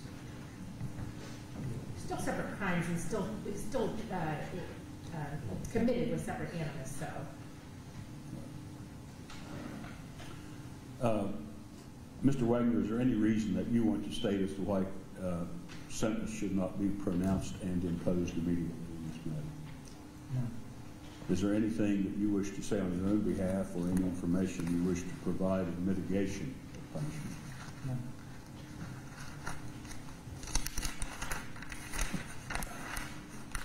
Prior to imposing sentence, uh, the court wishes to make just two or three observations here. First of all, no sentence that the court may impose in this case would right the wrong that has been inflicted upon the victims and their families. Uh, murder is a is an irreversible act. Um, and although time may alleviate the pain of loss, it has not obviously at this point and, and may never, but although it might at some point, it will not and cannot restore to the victims' families what was and what might have been had the lives of their loved ones not been unlawfully taken and cruelly taken on that uh, night in April 2016. The court does find that uh, these murders uh, do constitute the worst form of the offense. They involve invasion of the victims' uh, homes, and in three of the cases, invasion of their bedrooms or sleeping areas, uh, places where uh, the families, the persons involved, the victims involved had lain down to sleep. Um, in two of the homes, uh, uh, from the evidence, victims had infants in the bedrooms with them at the time. Um, the invasions at, at uh, three of the locations appear to have been calculated to find the victims in bed, asleep. Uh, in fact, uh, some, by the evidence, were apparently asleep. Uh, the court sentences and the process for imposing sentences, referred to somewhat by counsel here, are governed by law and the statutes that apply. And I want to sort of outline some of this, although it was done so in, in somewhat on the oral arguments here. Of course, both sides have filed sentencing memorandum. Uh, the court is to be guided by what's referred to in the statute 292911 of uh, as overriding purposes of felony sentencing. And there are three of those named there. One of them is to protect the public from future crime by the offender and others. Another is to punish the offender. And a third is to promote the effective rehabilitation of the offender using the minimum sanctions that the court determines accomplish those purposes without imposing an unnecessary burden on state or local government resources. That's, that's statutory language. It also says to achieve these purposes, the sentencing court shall consider the need for in incapacitating the offender, deterring the offender and others from future crime, rehabilitating the offender, and making restitution to the um, victim of the offense, the public, or both. The sentence to be imposed, this again is statutory language, uh, the, the sentence to be imposed for a felony shall be reasonably calculated to achieve the three overriding purposes of felony sentencing. And that it's commensurate with and not demeaning to the seriousness of the offender's conduct and its impact upon the victim, in this case victims, multiple victims, uh, and consistent with sentences imposed for similar crimes committed by similar offenders. And of course, the court is not to base its sentence upon considerations uh, of race or ethnic background, gender, or religion of the offender. That's all statutory directions to the courts. Um, and it goes on to say in, in the next uh, in the next uh, section of law, 292912, that unless required by section 292913 or 292914 of the revised code, the court that imposes sentence under this chapter upon the uh, offender for a felony has discretion to determine the most effective way to comply with the purposes and principles sentencing set forth in 29, 29, 11 of the revised code. Now, of course, that discretion that the court has in sentencing is limited when mandatory terms are, uh, or a sentence of imprisonment is required by law, as it is in this case. It says that in exercising the, the discretion, though, the court is directed to do certain things, to consider factors set forth in the statute relating to the seriousness of the conduct uh, and factors relating to the likelihood that the offend- that of the offender's recidivism. In other words, the, the likelihood that the offender will commit future crimes. Um, and also, of course, if, the, if there's been military service, the court is to consider that. That's not applicable in this case.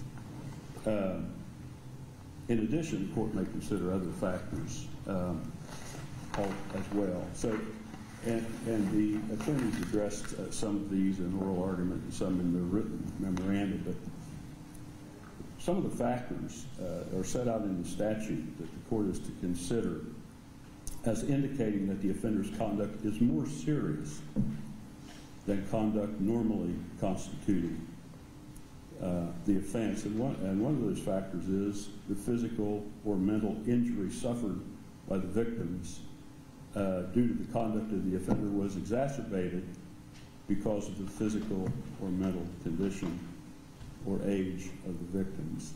All of the victims in this case uh, were relatively young. Uh, four were 20 or younger, uh, I believe, and, and two were, were teenagers. Was a minor. The oldest, I think, was 44 years of age. Uh, and as far as their, their physical condition is, is concerned, uh, six of the victims, I believe, had lain down to go to sleep, and some were actually, I believe, by the evidence, asleep when they were shot, or at least the evidence indicated that. Another factor is that the victim of the offense suffered serious physical, psychological, or economic harm uh, as a result of the offense. In this case, of course, the victims suffered death, all eight of them. Uh, some of the other, some of the factors set forth here uh, as indicating the conduct is more serious do not apply. Uh, one, though, is that the offender's relationship, this one does apply, the, the court's opinion, the, the offender's relationship with the victims facilitated the offense. In this case, uh, they weren't total strangers to each other. The uh, defendant had uh, knowledge of, the, of several of the victims, if not all of them, uh, knew something of where they lived, some, some of their living uh, habits and so forth, and which did facilitate the commission of the crime and, and could have also uh, added confidence to the preparation, to the defendant's preparation of the crime, knowing where different security uh, cameras were, things like that. Um, so those considerations, considering those things, you know, the court does find that the, that the conduct of the defendant was more serious than conduct normally constituting the offense, although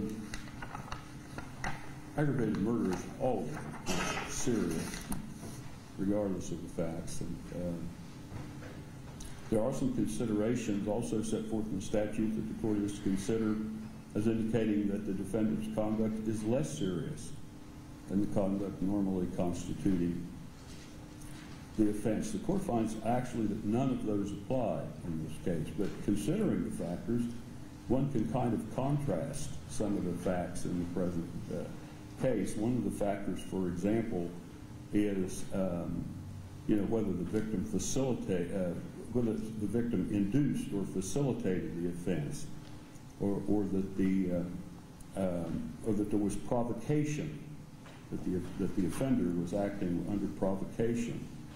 Uh, or that the offender did not uh, cause or expect to cause physical harm. Well, contrast the circumstances here. We had some people were killed because they were there.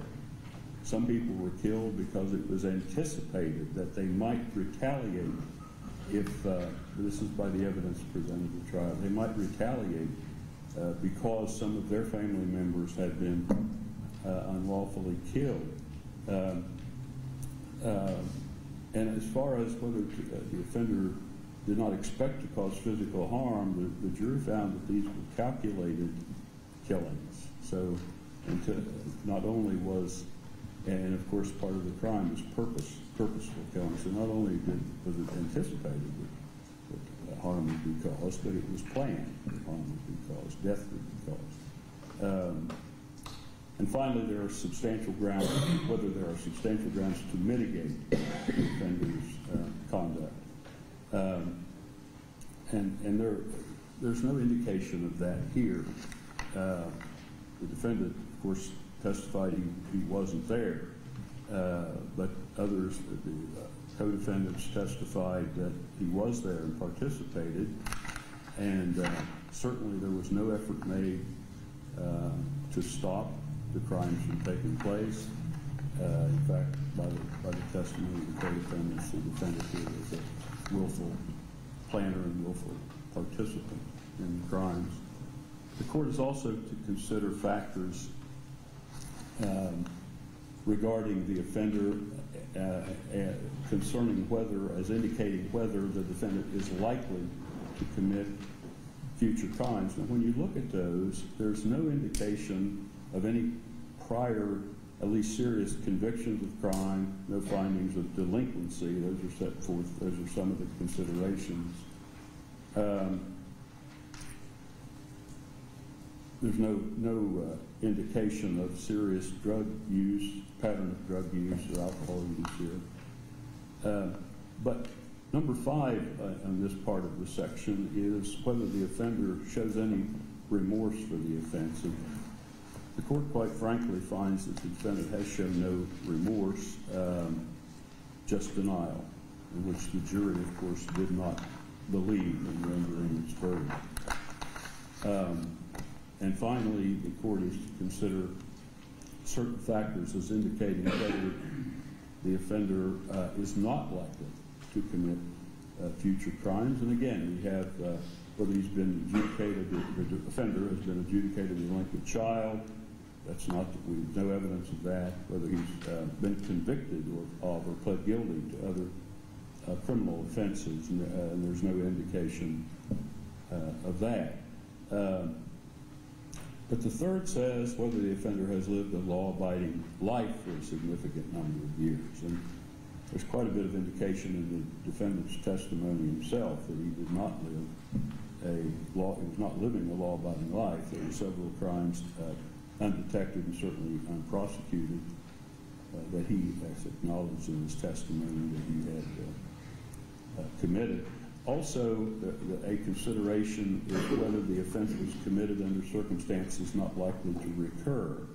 Well, the court can't make a finding like that because the, the circumstances here involve family relationships, which if the defendant uh, went on with his life uh, out, out of prison, he undoubtedly would uh, develop other relationships with other people and uh, whenever you have those type relationships, family relationships, you have family disagreements, uh, the old suspicions, the old disagreements, and maybe this way of settling those matters could reoccur. So the court can't find these circumstances are not likely to uh, recur. The fifth finding here that the court is, or the factor is that the offender shows genuine remorse for the offense. And again, the court finds that no remorse uh, has been shown, um, only denial. Um, and again, the jury did not believe the denial. Uh, the court's also to consider, as I indicated, military service where applicable, and that's not here. So the court's considered all of these factors that the court's required uh, to consider and is, and is ready to uh, impose sentence. So, Mr. Wagner, I ask you to stand at this time. On count one of the indictment for the offense of aggravated murder in violation of section 2903.01A of the revised code, the victim of that offense being Kenneth Rhoden, the court hereby sentences you to serve a mandatory term of life imprisonment without parole. Upon count two of the indictment, the victim of the offense being um, Chris Rhoden Sr., and again, the, the charge is aggravated murder, and I've given the section number. In fact, all of these first eight offenses involve the crime of aggravated murder, se- separate victims in violation of 2903.01A of the revised code. So on count two, the victim being Chris Rhoden, the court will sentence you to serve a mandatory term of life imprisonment without parole. On count three of the indictment, the victim of the offense of aggravated murder being Gary Rhoden, the court will also sentence you to serve a mandatory term of life imprisonment without parole. On count four of the indictment, for the aggravated murder of Clarence Franklin Rhoden, the court will sentence you to serve a, a mandatory term of life imprisonment without parole. On count five of the indictment, the victim of the offense being uh, Hannah Hazel Gilley, the crime being aggravated murder, the court will sentence you to serve a mandatory term of life imprisonment without parole. Upon uh, count six of the indictment, um, for the aggravated murder of Dana Rhoden, the court will, will sentence you to serve a mandatory term of life imprisonment without parole. Uh, on count seven of the indictment, for the aggravated murder of Hanna May Rhoden, the court will sentence you to serve a mandatory term of life imprisonment without parole. And on count eight of the indictment, the victim of the offense being Christopher Rhoden Jr. for the offense of aggravated murder, the court will sentence you to serve a mandatory term of life imprisonment without parole. On count nine of the indictment, the offense uh, there that you were found guilty of is conspiracy, a first-degree felony in violation of section 2923.01A1 and A2 and 2923.01J1. The court will sentence you to serve a uh, uh, definite term of eight years, President. On count 10, for the offense of aggravated burglary, and this was at one, at uh, 1084 Left Fork Road, in violation of section 2911.11A1 and 2911.11A2 and 2911.11B, a felony of the first degree, the court will sentence you to serve a prison term of eight years. On count 11, the charge is aggravated uh, burglary involving uh, the, the premises at uh, 4119 Union Hill Road. Again, the, the, the, viol- the section numbers are 2911.11A1 and A2 and 2911.11B. A felony of the first degree, the court will sentence you to serve a definite prison term of eight years. On count 12, for the offense of aggravated burglary, the section numbers are the same. This involves the premises at 4077 Union Hill Road, a felony of the first degree. The court will sentence you to serve a prison term of eight years. On count 13 for aggravated burglary at 3122 Union Hill Road, the uh, section numbers, of course, are the same. Felon with the first degree, the court will sentence you to serve a definite prison term of eight years. On count 14, unlawful possession of dangerous ordnance, 2923.17A1 of the revised code, a fifth degree felony. The court will sentence you to serve a prison term of 10 months. Count 15, tampering with evidence. This involves phones and cameras, 2921.12A1 and 2921.12B, a felony of the third degree. The court will sentence you to serve a prison term of 24 months. Upon count uh, 16, tampering with evidence involving custody documents, the court will sentence you to serve a prison term of 24 months. And section numbers there are 2921.12A2 and 2921.12B. Again, it's a felony of third degree.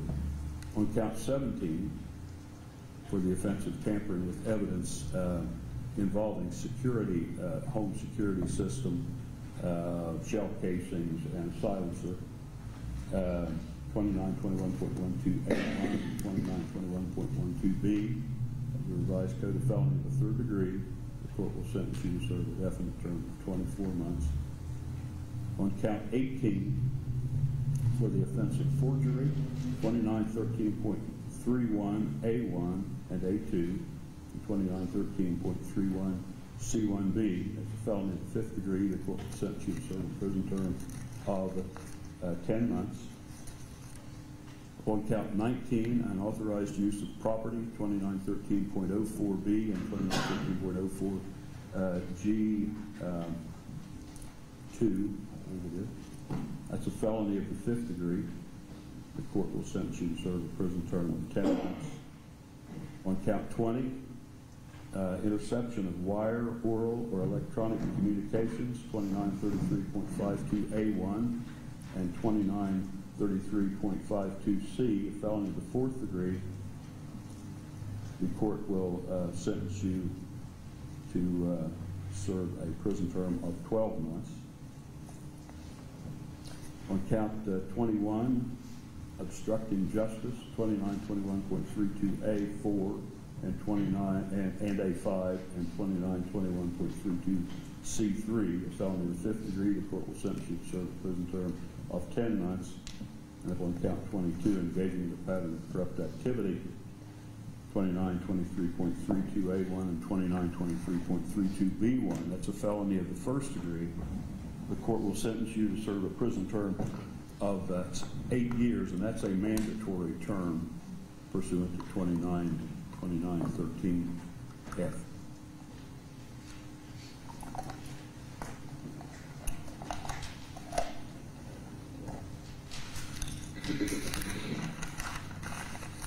Concerning the firearm specifications, um, in considering those, um,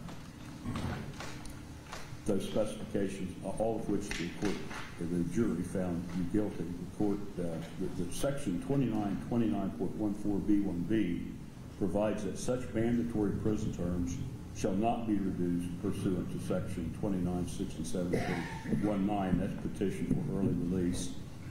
Section 292920, that's judicial release.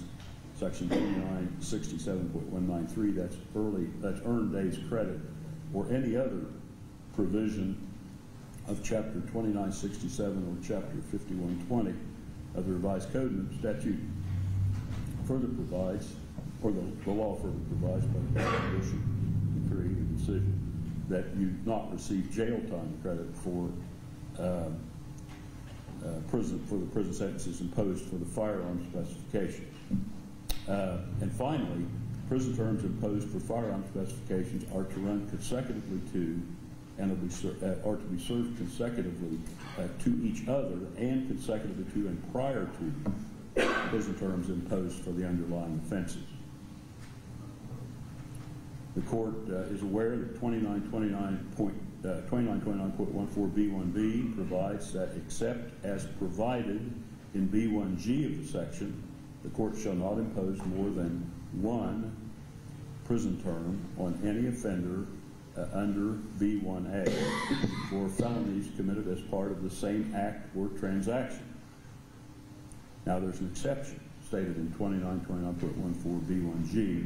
And that exception is that if the offender is convicted of or pleads guilty to two or more felonies, if one or more of those felonies are aggravated murder, uh, attempted aggravated murder, attempted murder, aggravated robbery, felonious assault, or rape, and if the offender is convicted or pleads guilty to a firearm specification in connection with two or more of the felonies, the sentencing court shall impose on the offender the prison term specified for the two most serious specifications of which the offender is convicted or to which the offender pleads guilty, and in its discretion may also impose on the offender the prison term uh, specified for any or all of the remaining firearm specifications.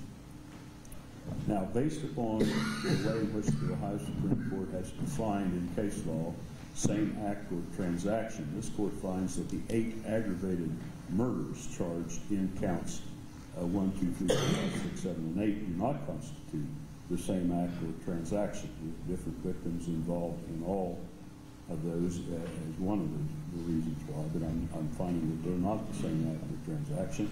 And the court will therefore impose a mandatory prison term upon uh, uh, one of the specifications stated for, or of which you've been found guilty with respect to each of those counts, and I'll get into that here in a minute, uh, and for each of those eight counts of the indictment. The court further finds that although for the purposes of sentencing in this case, on the specifications, on the firearm specifications, the aggravated burglary charged in count 10 may constitute the same act or transaction as the aggravated murder charge in count 1, which may be the same act or transaction, that the aggravated burglary charged in count 11 may constitute the same act or transaction as aggravated murder charge in count four and the aggravated murder charge in count five, based upon the victims in that residence, and the aggravated burglary charge in count 12 may constitute the same act or transaction as the aggravated murder charge in count two and the aggravated murder charge in count three, and that the aggravated burglary charge in count 13 may constitute the same act or transaction as the aggravated murder charge in count six, the aggravated murder charge in count seven, and the aggravated murder charge in count eight. Pursuant to section 2929.14B1G, the court shall impose a sentence on the most serious firearm specifications of which the defendant was convicted as to count 10, count 11, count 12, and count 13 as well. Therefore, uh, on as to specification three, to count one, the court imposes a mandatory prison term of six years. As to specification three to count two, the court imposes a mandatory prison term of six years. Specification three to count three, the court imposes a mandatory prison term of six years. As to specification three to count four, the court imposes a mandatory prison term of six years. As to specification three to count five, the court imposes a mandatory prison term of six years. As to specification three to count six, the court imposes a mandatory prison term of six years.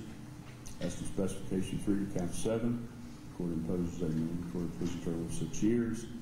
As to specification three to count eight, court imposes a mandatory prison term of six years. As to specification three to count ten, uh, the court imposes a mandatory prison term of six years. As to specification three to count eleven, the court imposes a mandatory prison term of six years. As to specification three to count twelve, the court imposes a mandatory prison term of six years. As to specification three to count thirteen, the court imposes a mandatory prison term of six years.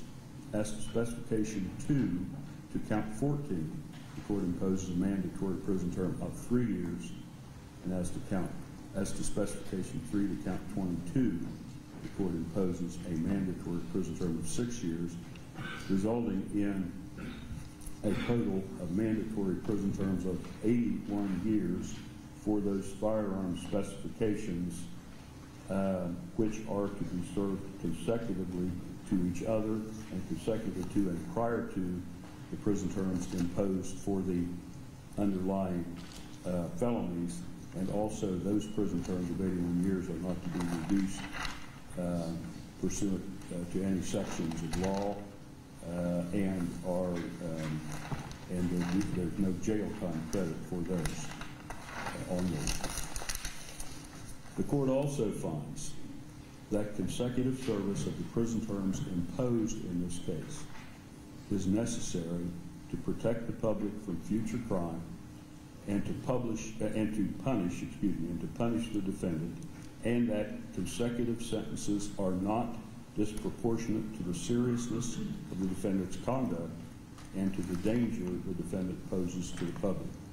The court further finds that the defendant committed the offenses of which he has been found guilty in this action as part of one or more courses of conduct, and the harm caused by all of the offenses so committed was so great and unusual that no single prison term for any of the offenses committed as part of any of the courses of conduct adequately reflects the seriousness of the defendant's conduct. The court also finds that the defendant's history of criminal conduct, although, uh, as we mentioned, un- undetected uh, and, and unprosecuted, but uh, but referred to by the defendant in his own testimony and also in the testimony of co-defendants. The defendant's history of criminal conduct demonstrates that consecutive sentences are necessary to protect the public from future crime by the offender. The court therefore orders that the prison terms of life imprisonment without parole imposed in counts 1, 2, 3, 4, 5, 6, 7, and 8 shall be served consecutively to each other um, and consecutive to the prison terms in, uh, imposed for the 14 firearm specification. The eight-year prison terms imposed in counts 10, 11, 12, 13, and 22 shall be served consecutively to each other and consecutively to the prison terms imposed in counts 1, 2, 3, 4, 5, 6, 7, and 8, and consecutive to the prison terms imposed on the 14 firearm specifications. The prison terms imposed in counts 9, 14, 15, 16, 17, 18, 19, 20, and 21 shall be served concurrently with each other and concurrently with the prison terms imposed in, uh, in counts uh, 10, 11, 12, 13, and 22.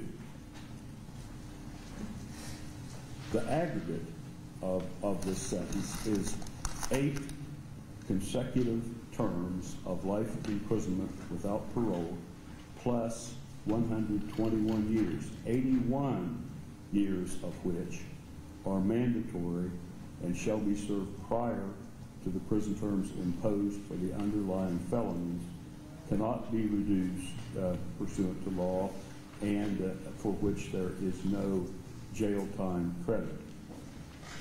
The eight years imposed on count 22 also is a mandatory. Now, uh, the law provides that upon the defendant serving the prison terms, the definite prison terms, and non-life prison terms imposed in counts 9, 10, 11, 12, 13, and 22. Those are all first-degree felonies. If he is released from prison upon the serving those terms in full, the, li- the law provides that he would be released on, on uh, post-release control for a mandatory period of five years for each of those offenses uh, and would be supervised by the adult parole authority.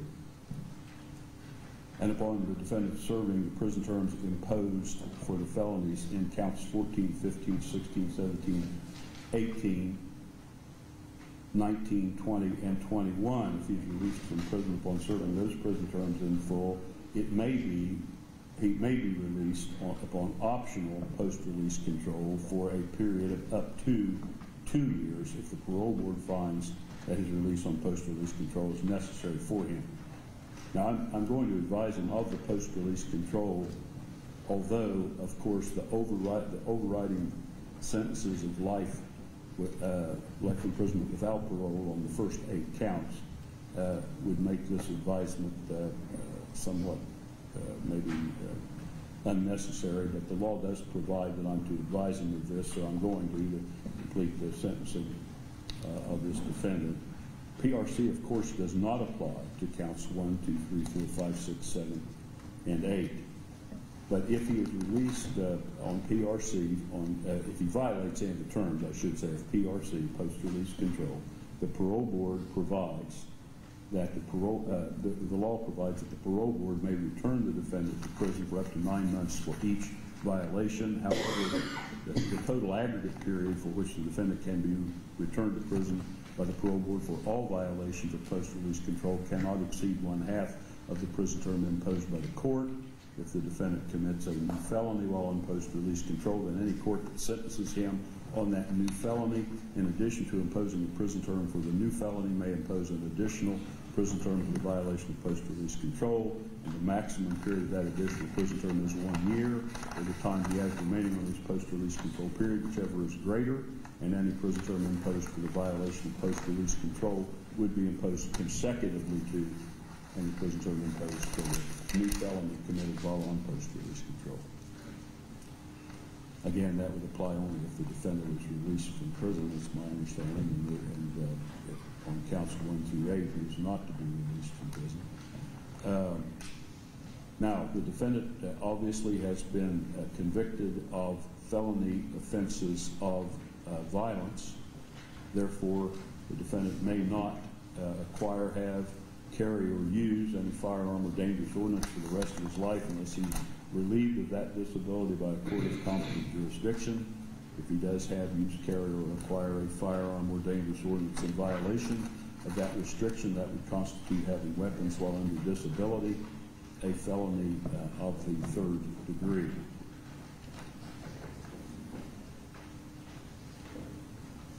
The court will not impose a fine uh, in, on any of these offenses.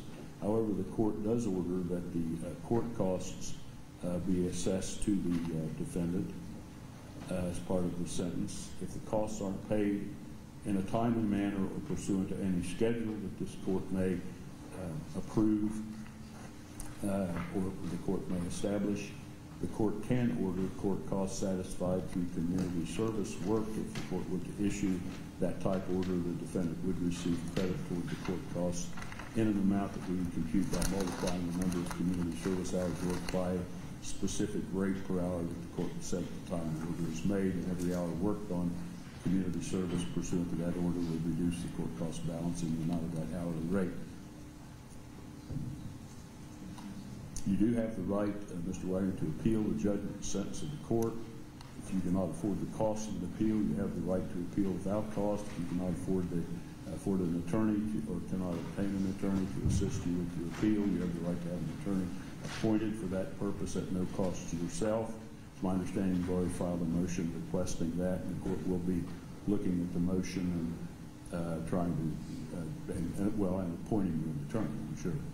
Uh, if you cannot afford the documents necessary for an appeal, you have the right to have those documents provided at no cost to yourself, and you have the right to have a timely notice of appeal filed on your behalf.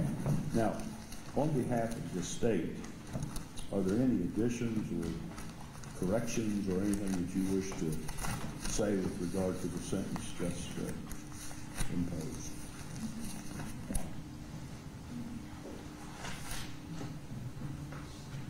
No, Your Honor.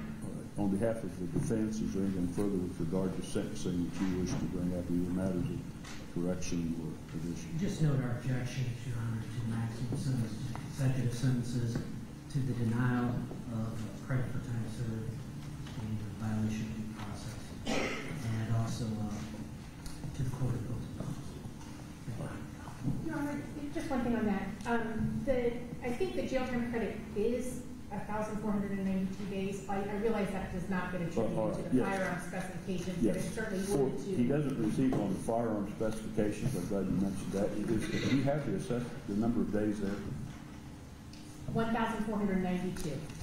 One thousand four Four hundred hundred? I believe. I did that by, you know, The court, four the court will, on, on the offenses for which jail time credit was uh, permitted, would, would- would not, which would not include the uh, sentences imposed for the, uh, uh, for the uh, firearm specifications. The court will, uh, the defendant will receive credit, jail time credit for, toward those other, other sentences. And the amount does does defense feel that's probably That's, correct? yeah, it's from the date of his arrest, I I believe. that's- through all, for all days spent in jail from the time of his arrest through today's date. He receives credit, and then, of course, uh, if he's held until he's transported to the, to the uh, state correctional facility to begin serving his uh, prison terms, he will receive credit for that. Thank you, Judge. And just to be clear, we object to the statute that denies him credit for time served. What's that again? We object to the statute that denies him credit for, for the for the. Uh, just to be clear. All right. Thank you, Judge. Anything further? If not, then we are adjourned. Thank you.